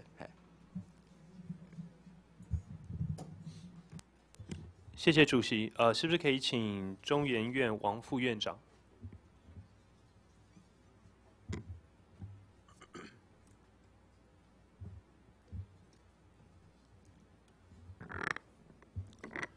是蒋委员好，王副院长您好。我想今天啊，这个。也特别谢谢我们的招委安排这样的议题，主要当然针对新药疫苗的一些上市流程啊，我们做一个相关法规通盘检讨。是，但是我想国人真正关心的还是呃浩鼎案这个事情啊，所以我想当然呃翁启慧院长学术地位非常崇高哦，我想这个他的专业国人也是肯定。那呃当然发生浩鼎案这个事情。我想，呃，相关是不是有违法事实，不是本席在这边我们可以智慧啊，因为很多需要司法单位的调查。但是我想，呃，借由这件事情，我们回过头来检视相关制度面是不是有一些不够周延的地方。我想这个是我们应该要关注的。所以我想，呃，首先先从啊这个呃这一次呃最主要核心的问题，包括我们技转。啊，技术转移跟利益回避这几个问题很面向啊，我想来请教副院长，因为在之前啊，中研院这个陈元崇所长啊，在过去在二零零五年的时候，他非常他是一位非常知名的生医学者啊，他也担任过所长。那零五年他成立了一公司，那那时候中研院也独家授权这个技术给他设立的这公司，当然，这公司取得专利之后，啊，不管是中研院或是相关的医疗机构需要做呃试剂试验的时候，也需要向这个公司来购买这个专利。那在零七年的时候，哦，陈元崇所长他担任一项计划的主持人，啊，要进行一个人体试验。那呃，这时候中研院那时候甚至这个计划是需要拨一千五百万，啊，向这家公司啊来呃试呃购买这个试剂，啊，当时的中研院的伦理委员会就针对这个案子做了质疑，他提出两点建议，啊，第一个，他认为陈元崇所长啊，他如果要继续担任这个计划主持人，他本人和他家属。必须要释出这家公司的股份。第二点，如果他想要啊这个继续保有这个公司的股份股权的话，他必须要辞掉计划主持人，而且不能实际参与计划的任何角色。所以很清楚，他只能选择担任计划主持人，放弃商业的利益，或者是他保有商业的持股，他放弃计划主持人，就不参与计划。啊，很清楚。所以在也因为，而且零七年这件事情，当然最后结果是，呃，陈所长并没有这个，他反而寻求中院以外的相关的研究经费而进行这个计划啊，所以他两件事情都没有做。那一零年的时候啊，当然发生这个减掉对于他约谈这些事情，也因为一零年这个事情哦，推动了我们相关的法规，尤其是针对技转这一部分大松绑。包括了零七年生技新药产业发展条例，哦，这个里面就针对了啊，我们这些所谓研究员、科学家，他如果要这个技术转移到一个公司，他可以持有百分之十的股份，哦，同时可以担任创办人、董事，甚至科技咨询委员。啊，第二个相关的法案的松绑是包括了科技基本法，我想副院长你也非常知道。科技基本法二零一一年通过之后，其实也放宽了所谓相关研究员，他们不会受到包括叫教职员任用条例、公务员服务法等等相关的束缚，啊，所以基本上对于生技产业的发展是非常好的、非常大的一个帮助，好，也因为这两个法案，让我们学术研究跟产业的通路完全打开，啊，那所以。接下来，我想，但是啊，即使我们通路打开，可是我们利益回避相关的规范还是不够周延，也才会发生今天浩庭案这样的事情。所以，我想接下来，我想请教副院长，我想大家也都知道，中院里面有一个相关的内规。刚刚副院长在呃询答的时候也说了这个相关的规范哦。当我这边也很清楚列出几个啊这个内规的标准，包括。当事人二亲等以内的亲属，对于有利益冲突的情势，应该要揭露，或是自行回避，而且两年内不得投资啊，他寄转的这个公司啊，非常清楚规定在内规里面。所以我在这边接着请教副院长，违反这个内规的效力是什么？有没有相关的法则？有没有法则？哈，我我想目前就是刚才有讲的，就是。要么就由伦理委员会来，呃，检视这个任何一个案子哈。那如果有，呃，的确有违反法律的问题，那当然就会送法律的处理。我不知道，谢谢啊，副院长，您知不知道有一个中央研究院科学技术研究发展成果归属及运用办法？是，在这个办法里面哦，提到第三条第二项，这个中研院。应设研究发展成果管理委员会有哦，研管会是哦，现在还在运作嘛？有有，当然有对。那这一条的第二项第五款，也就是说，下列事项必须要经过研管会的审议，包括中研院技术移转及产权合作应揭露利益、揭露方式及利益回避是哦，这三项是。而第五款有说，对于违反这项规定的时候，必须进行必要的调查。调查完成，提请有关单位必要的处理处置。是。好，所以我不知道副院长，我们在中院里面，严管会有没有开始进行主动调查，而有没有送相关单位来处置？现在是由呃院里面有一些同仁的确提出来，在这个呃我们叫什么伦理委员会正在处理。啊，我们的严管费，呃，不是不是费，严管会啊，严管会，这个目前还没有启动这个机制，不过呃，应该随时都可以来。为什么还没有启动？因为现在既然已，因为很多事情现在还不清楚嘛哈，但是我们从这个过去的这些资料、这些表啊等，目前，呃，他们所有的研究人员，刚才有讲到有七十三个案子嘛哈，那这个每一个案子都有按照。这个程序去填这些表啊，也有经过审议啊才通过的哦，所以目前从这个程序上来讲，我们是还没有看到有呃这个违违规呃违反规定的一个一个事项。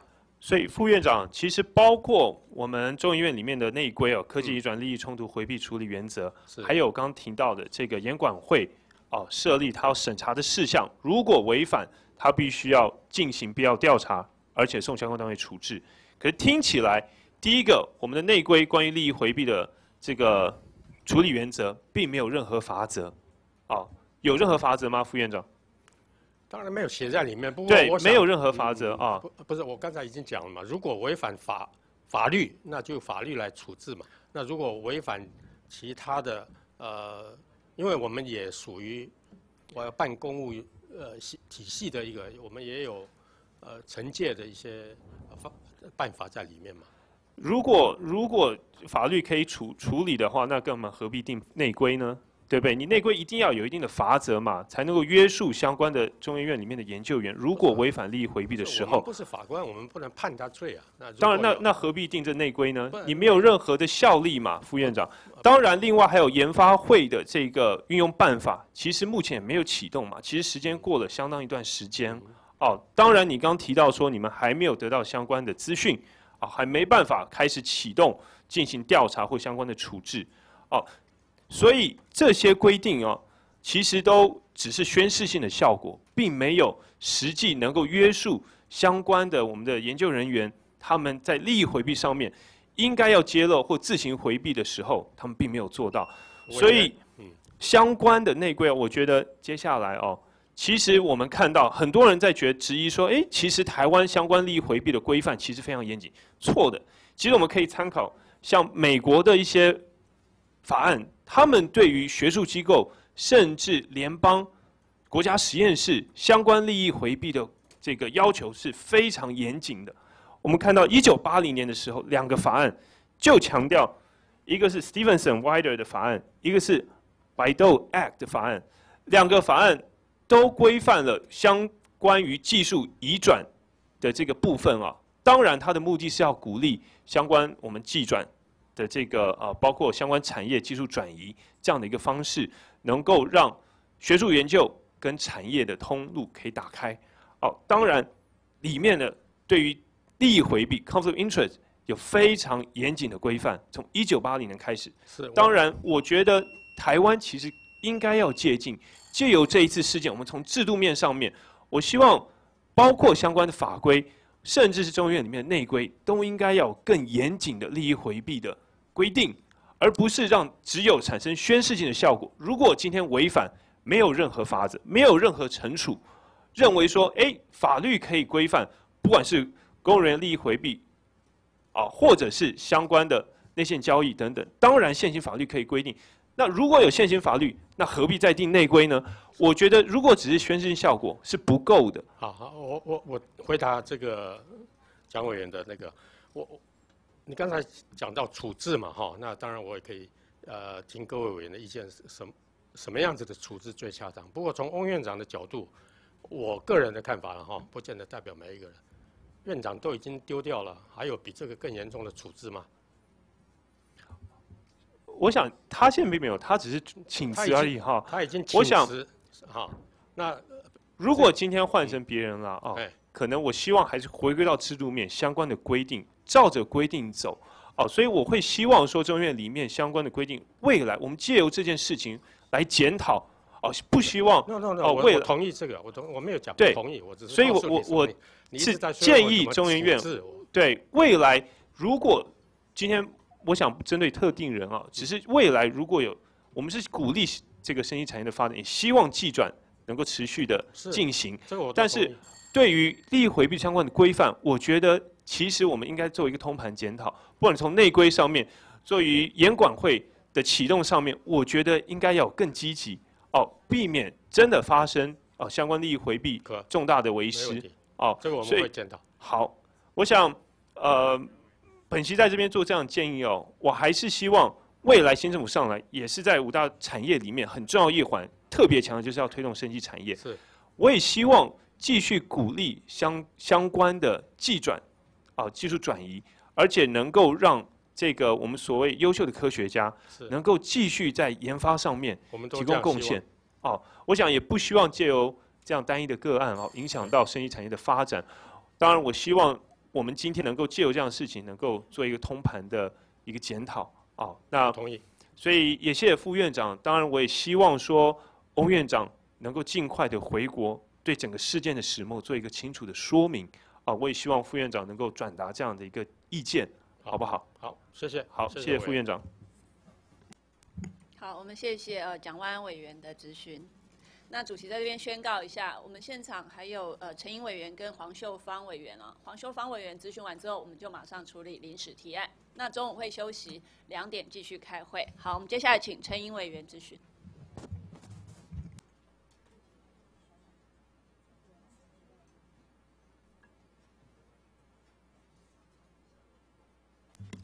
呃，主席，请卫福部市长。好，请许市长。委员好。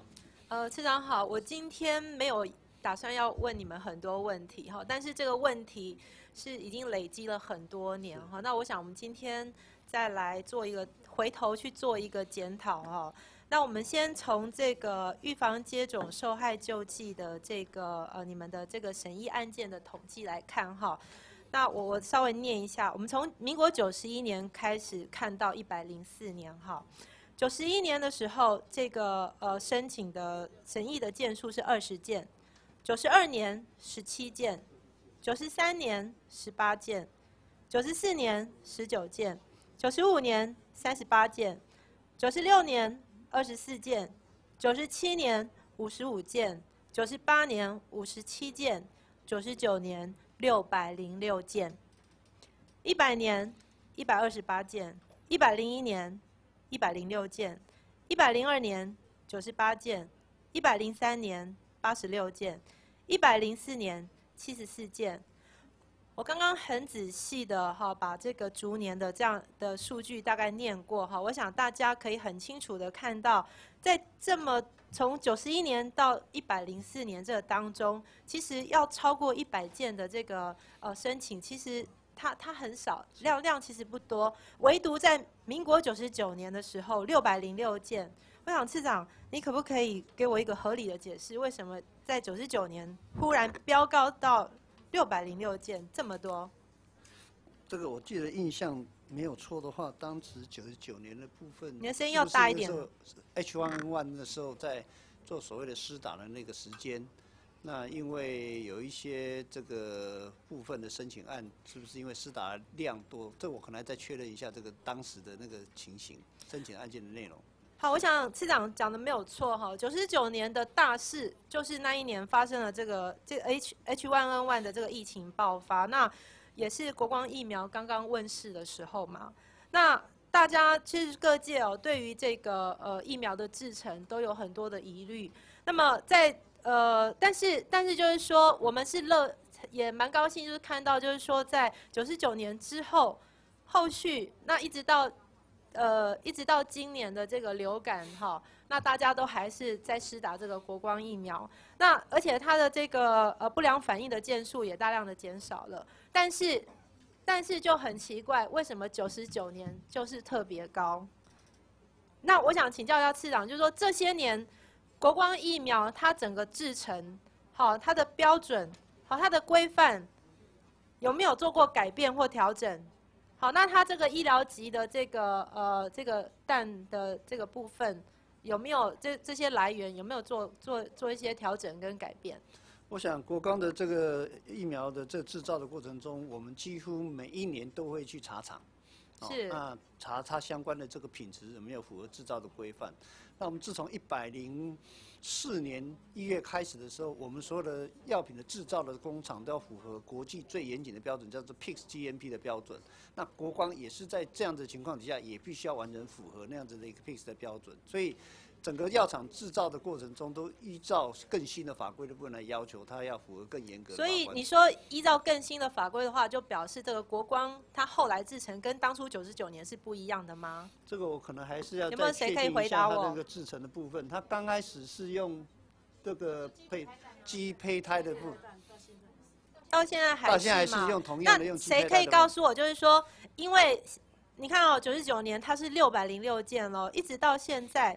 是一百件以下，这个差距落差是相当大的。它的前后几年落差都大概超过，大概这个差距大概五百五百以上，五百件以上。所以你怎么样去解释？所以本席才会质疑说，哎，这个下降，我们乐见于它的进步。好，但是问题是说，到底九十九年到底什么原因它飙高这么多？所以本席才会问说，到底这个制成的，我我说这整个制成有没有？做过什么样的改变？因为毕竟现在还有很多受害者的这个家属正在打官司。是，哦，这部分我是不是请当时在审查这个 CDE 的这个医师来跟委员做个更详细技术上面的报告？呃，委员您好哈，针对为什么二零零九年 H1N1 的那个不良反应的通报率特别高？其实有两个原因，第一个就是当年因为是全国。国家做一个这个叫疫苗 national campaign 这样子全国接种，所以施打的人数的基础值就高。另外一个最大的原因就是那一年我们采取的通报系统，平常的通报叫做被动通报，那一年采取两种监测系统，就被动加主动。所以所以所以这个被动加主动的这个对一定会拉高通报率。民国九十九年才有，后面都没有。平常我们的疫苗常规接种是不做主动所以，所以这个有潜在的一个问题，就是说，因为之后就没有一个主动加被动的一个通报，所以你有可能遗漏了一些不良反应，所以后面的数据。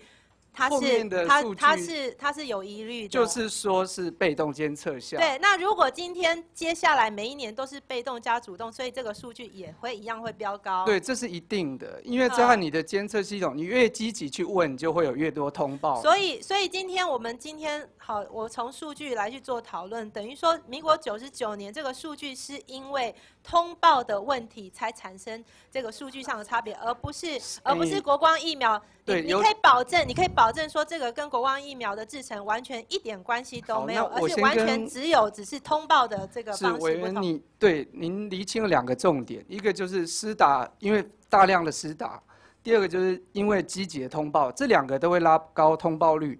至于是不是有疫苗安全性的问题，你必须做大量的资料收集。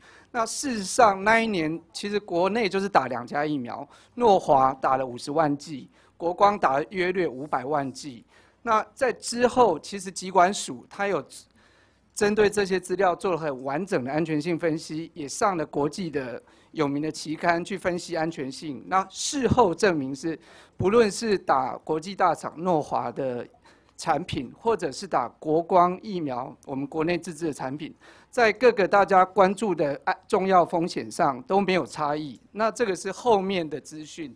那这样的资讯其实是要仰赖很大量的资料分析，包括我们国家有很好的健保资料库去做安全性的那个，都是一些专业性的分析。那这方面机关署其实事后有做非常详细的。所以按照你的这个逻辑来看，等于就是说，我们事后就是说，其实那这些潜在没有没有呃没有计算到、没有通报到的这些不良反应的这这些案件。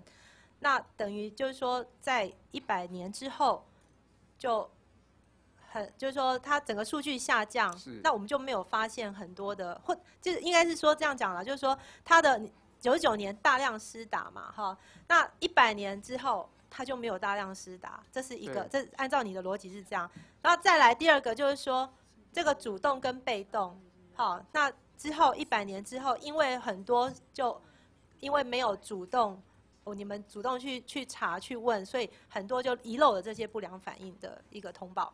应该说就是会自然就会低估，没有错。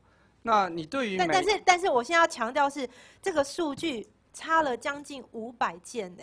呃，我想这个在监测上就是会造成这样的落差。对，所以所以今天如果今天国光疫苗是没有问题，所以接下来的通报跟全面施打，这个就是我们接下来应该要检讨的问题了，是这样吗？嗯，因为并不可能把全部的资源都做这么多事情。但是今年今年的流感是很严重啊。是。那是不是我们今年又要比照九十九年的时候，我们再来做一个？大量的施打跟大量的一个主动的一个通报，这方面可能就必须要机关署还有整个卫福部大家通盘检讨，是不是需要再启动这样的机制？你你认为这样是有必要的？我认为要看产品的属性。如果是一个用了这么久，因为一流感疫苗其实问世已经五十年了，是大家很熟悉的产品，是不是要花这么多国光疫苗的问世也才差不多五六年。对，国光不过它是在一个很严谨的技转的基础下去在台湾上市。事实上，它的前身是日本北里的完全的。我想今天本席在这边咨询哈，并没有特定的立场，认为国光是好还是不好，只是说当年哈，当年因为我们在未还，我当招委，我在关心这个案件。那呃，特别像刘医师的孩子。好，就这样子走了。那大家也对这个 B 十九的这个病毒有很多的讨论。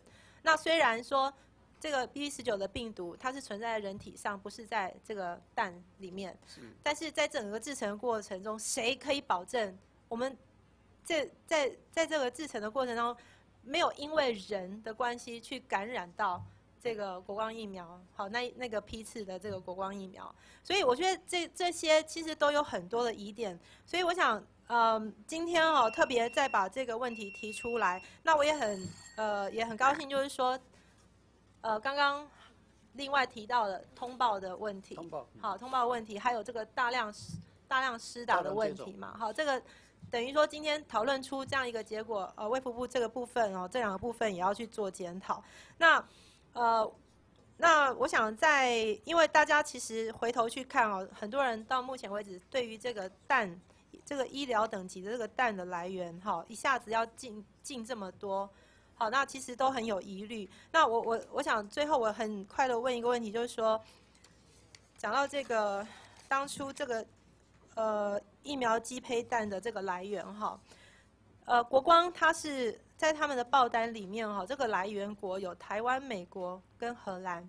那请教这个卫福部，你们只是照单全收，就是他们报什么，你们就你们就认为是什么，还是你们有去做这个勾稽的动作，有去查核，有去有有有有去确实？在当时，其实在这个食呃食药署那时候应该是食品药物管理局，跟我们的 CD 的部分，对他所送来的资料的部分，除了资料以外，我们还是要再去查他所提供的相关的单位的部分。所以有去有去蛋厂有去查，那所以就排除了这些之后，是剩下 B 十九，到底是不是因为这个在在那个研究人员或者在制成这疫苗过程当中造成污染，这个就没有办法验证了吗？对，这个部分当然是这一直在做这部分。好，那我想最后就是呃，我我的问题大概问到这边，但是我我请那个请这个卫福部哈能够提供呃几个资料，就是。呃，请卫福部出示当年国光，呃，制造流感疫苗时候申报的医疗级鸡蛋来源证明跟合格文件。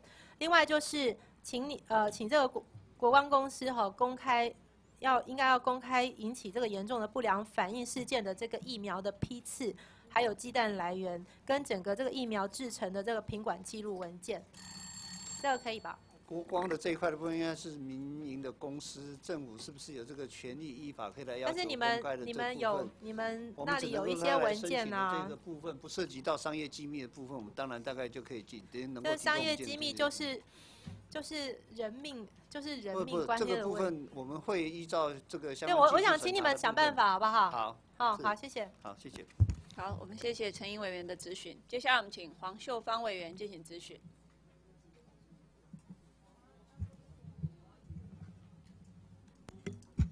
呃，主席，我们请呃卫福部许次长。好，请许次长。委员好。呃，次长好。是。呃，次长，呃，我想请教一下哈，就是呃，在前一阵子，就是呃，日本这边有出现呃多名女性接种子宫颈癌疫苗，然后呃有一些呃副作用的情况哈。那我想请教一下，就是说我们台湾目前所使用的子宫颈癌的疫苗是哪两家？是不是跟日本所使用的有问题的疫苗是不是一样？是，我想我们现在目前所使用的是，呃，美国这个 莫沙东药厂，还有这个荷兰的这个葛兰素药厂。所以跟日本日本出现所使用的实际上是一样，一模一样。是。那现在目前有呃有通报回来的有副作用的。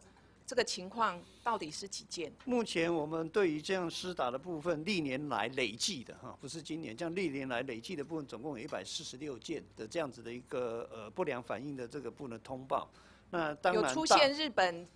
目前但目前没有发现像日本这种严重的这种不良反应的事件。那当然，这般都属于这种晕针呐，哈，或者是直打地部位疼痛的类似这样子的通报。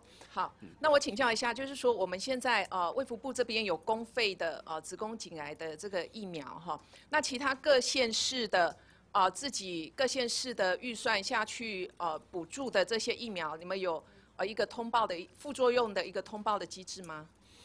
我们对于这个呃副作用通报的这一块的部分，一般来讲就是，假如说临床的这个呃医师或者是在施打的过程中都有发现有异常的部分，他就会做所谓的通报体系，通报到我们的这个要害这个基金会的部分有个窗口来接受相关的讯息。那地方账的部分，即使有临床医师提供相关的施打的部分，也都会做通报。那我们的公费的这一块的部分，也当然通过这样的管道出去做施打的部分，也都会有相关的通报资讯回来。呃，因为我啊得到一个消息，就是说哈，各县市的啊这个卫生局这边哈所所补助的这个呃子宫颈癌公费的这个疫苗哈，他们说呃我们的啊这个呃卫福部这边是完全没有一个通报的机制了哈。那我想说，如果万一如果呃出现类似啊这样子的一个呃像呃日本女性这样子呃一些副作用的这样状况之下，那我们的卫福部到底啊要怎么去？呃，怎么去协助？那像这样子的话，是不是要建立一个比较好的一个制度，针对呃这个各县市他们自己施打的这些呃疫苗？我想这里部分分为两块，一块的部分当然各县市公费在施打这个部分，我们会调查相关的一些县市在施打的过程中，请他们注意类似日本的这样子的一些不良症状的这个部分是不是有发生的情形，一有发现这样的情形，要急速跟我们的呃这个政府部门来做相关的通报，这第一个。第二个部分，当然这些施打的部分还有一些民间的这些诊所的部分或者医院提供一些自费的这个施打的这一块的部分，我们会。呃，通知这个相关的这些呃卫生局去通知这些医疗院所，那么在施打这些疫苗的时候，啊，事实上尤其是有些是妇产科的这部，有些是这个小儿科的部分，那他们在施打的部分都能够注意类似这样的严重的这个部分反应的部分来做做通报。那我我请教一下，就是说我们在这几年当中哈，就是施打这样子的一个疫苗哈，它的成效、它的结果、它的成效到底是如何哈？那是不是如果成效很好的话哈，因为呃，我我想请教一下，就是说目前呃各县市除了我们呃卫福部这边所补助的公费疫苗，呃补助中低收入户，还有呃偏远地区的啊这个女性的这个疫苗之外，那各县市目前有几个县市已经自己好自己有补助这样子的一一个疫苗？可不可以回答一下？我想大概有补助疫苗，最开始的是金门跟马祖，后来那目前目前有几个县市？新北市详细我不太清楚，大概就是新北市、嘉义，还有几个县市，桃园这几个县市。那这样子的成效到底如何？成效的这一块的部分，从这个这个呃整个查验登记相关的资料，其实它事实上施打了以后会产生一些相关的抗体。那这些抗体的部分，最主要对子宫颈癌的这个部分的相关的基因型的部分是有特殊的基因型。那它能够产生抗体的时候，就有些保护的保护所以效果很好。效果的这一块部分，那当然还是得就它临床所得到的数据来讲，证明它实际上是有效的。那是不是我们呃卫福部这边，或者是呃我们国健署这边，可可不可以去研拟？既然有这么多县市，呃，还有我们卫福部这边也有补助哈公费疫苗，那是不是也要扩及到全台湾各县市？好，来施打这样子的一个疫苗哈。那我我知道说，呃，这个如果全部啊，以目前哈这几个县市，还有我们啊所有呃这边的公费疫苗加起来的话，因为这个价格。听说还蛮贵的哈。那如果说其他县市如果合起来的话，是不是那个价格会压低，可以造福更多人？是，我想这一块的部分还是基于在国民健康署针对这个癌症防治的这立场上面。呃，在经费有限的部分，还是先针对弱势的这个部分提供免费的这样子的施打。那至于要全面的部分，其实要要有非常好的这个所谓的财务的这个部分的分析，才有办法去负担。那这个也是我们必须要做。那再麻烦我们卫福部这边哈去演你哈。另外，呃，我想请教一下，就是我们国内的呃这个制药制药厂哈，全球的呃药品市场规模哈，可以说是非常的大。那我们台湾占这个呃全球的药品市场大约占。多大的市场？提到好像不到五，不到不到五，啊，不不到一 percent，不到一 percent。那为什么会这样子的这种情况？我想最主要的一个部分是我们台湾现在目前所发展的部分哈，除了新药以外，对外才是学名药的这个部分。那在玄妙的发展其实有非常大的这个部分，但是玄妙部分毕竟要去跟世界各国的学苗去做这步的竞争，所以基于这个竞争的立场上面，其实还有很大的空间需要去做突破。那当然最新药的这一块的部分，其实是风险高、投入的资本高，那能够产生出来的这样子的新药的这个结果的部分的案例。那那是不是说我们这边经济部呃经济部这边是不是有什么样的？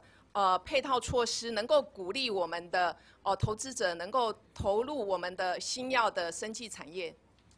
哦那这个是不是请经济部的部分跟委做说明？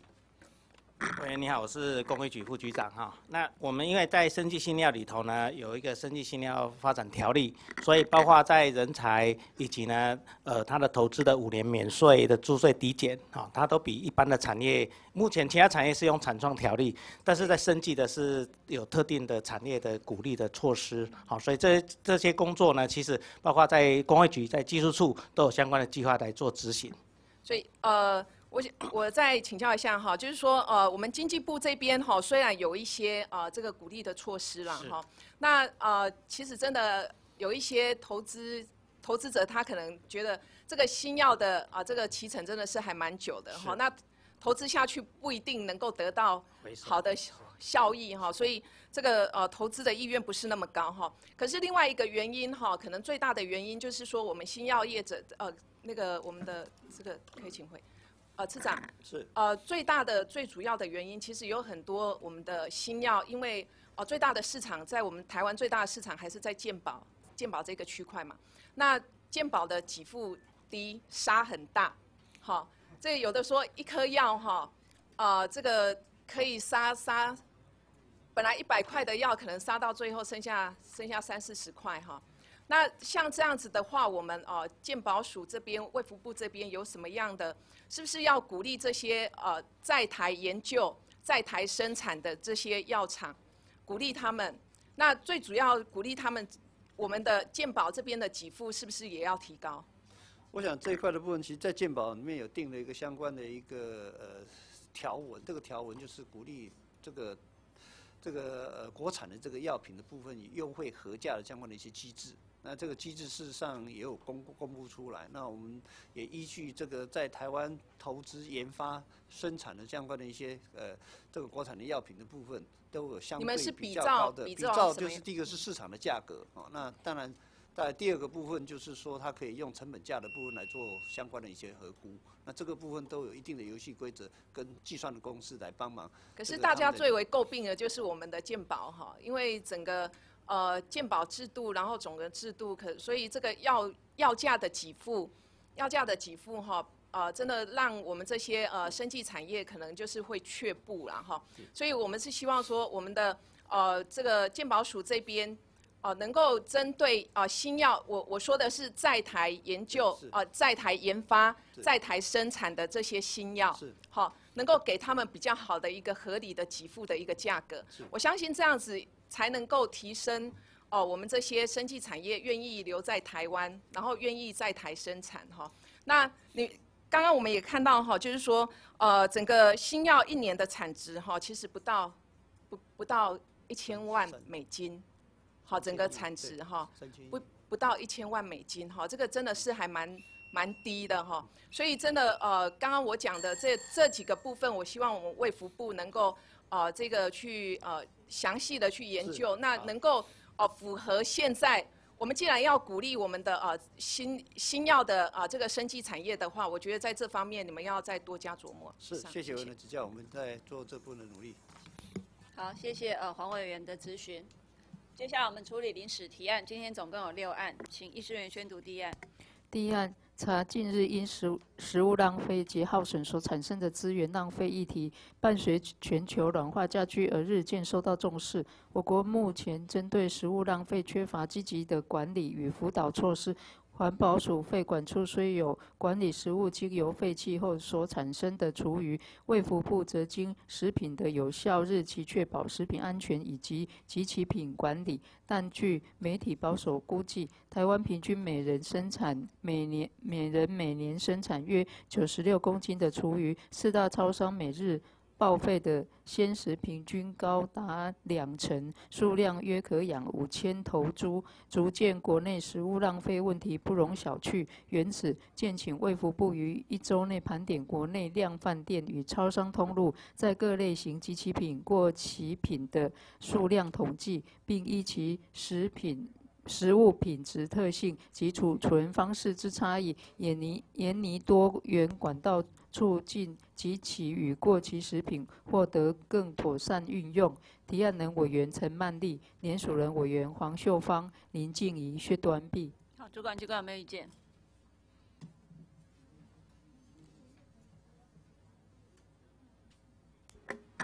呃，报告委员在。倒数第四行啊，建请卫福部于一周是不是可以改一个月？啊，我们刚刚有讨论过了。然后在过期品啊，过期品，因为这个除了过期品，还有很多其他的损耗的啊这些的，所以我们呃建议改报废食品，过期品的部分都改成报废。好，以上报告。好，同意哈。好，那就按刚刚署长建议的文字修正通过。接下来第二案。第二案有鉴于中研院研究人员现已针对浩鼎案进行联署，欲求违反中央研究院研究人员及研究技术人员伦理规约之行为，由伦理委员委伦理委员会进行审议。原建请中央研究院以。两周内提供近十年伦理委员会审议结果，以昭学术自律决心。提案人委员王玉敏，联署人委员蒋万安、李艳秀，宣读完毕。好，主管机关有没有意见？好，来副院长请。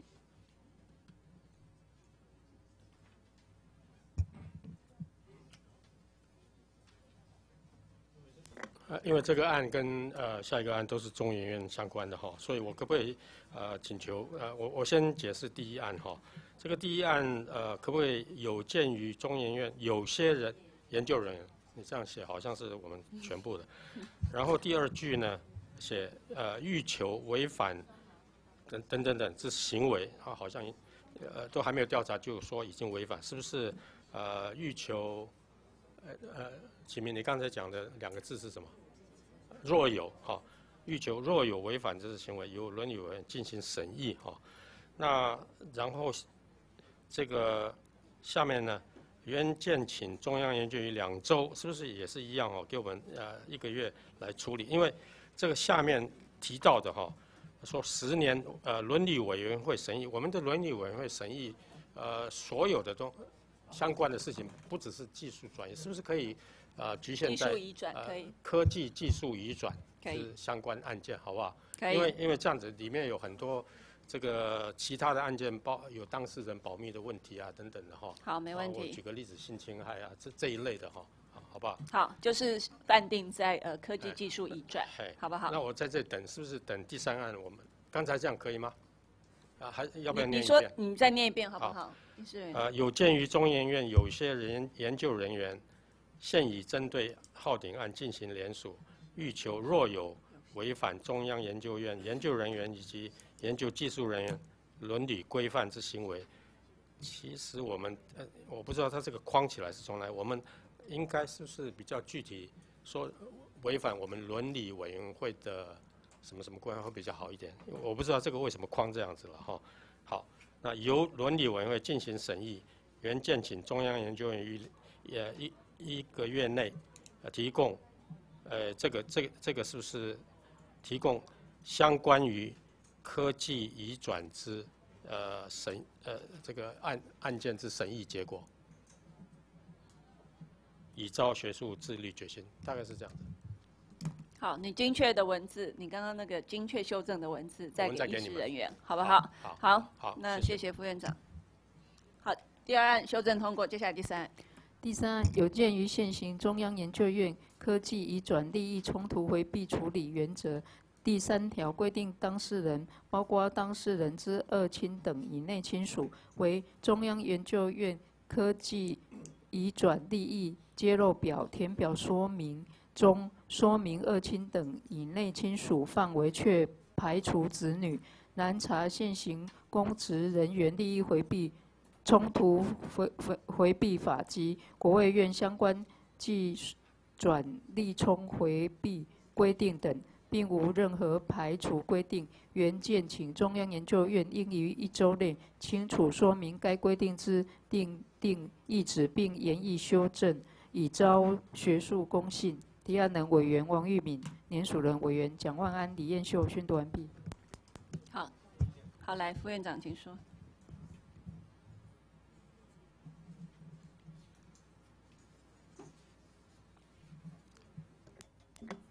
呃，关于这个临时提案哈，我们呃可不可以做这样子的建议哈？这个字句里面有“却排除子女”，我们是不是可以改成“却”？呃，未列入子女，好，那然后后面说一周内哈，我觉得因为这个后面牵涉到严议修正哈，这个我们需要由严管会来改我们的办法，哦，那是不是给我们也是一样啊？一个月的时间，我们还要召开这个严管会啊？那个严管会牵涉的呃人还蛮多的哈，那我们呃我不晓得是不是大家都有时间，是不是可以这样子？你改成两周可不可以？因为这个其实都有其他可参照的，国卫院他们已经就是了。不是，因为你要说严议修正嘛，我们要开那个严管会，才有那个权利来做这个修正。我们严管会我们会尽快了，那是不是？呃，我们就暂列一个月，我们如果修好了，我们就给你，超前就就送到委员会了，好不好？好，这样可以吗？好，好，谢谢委员。好，接下来第四案。第四案有鉴于号鼎案持续延烧，显示我国现行针对新药解盲结果有不同解读，迭生争议。原建请经管会会同卫生福利部一个月内共同研议解盲重大讯息揭露原则与确保投资大众之权益。提案人委员王玉敏，联署人委员蒋万安、李彦秀宣读完毕。好，请问主管就有没有意见？好，都有意见来一一起上台讲。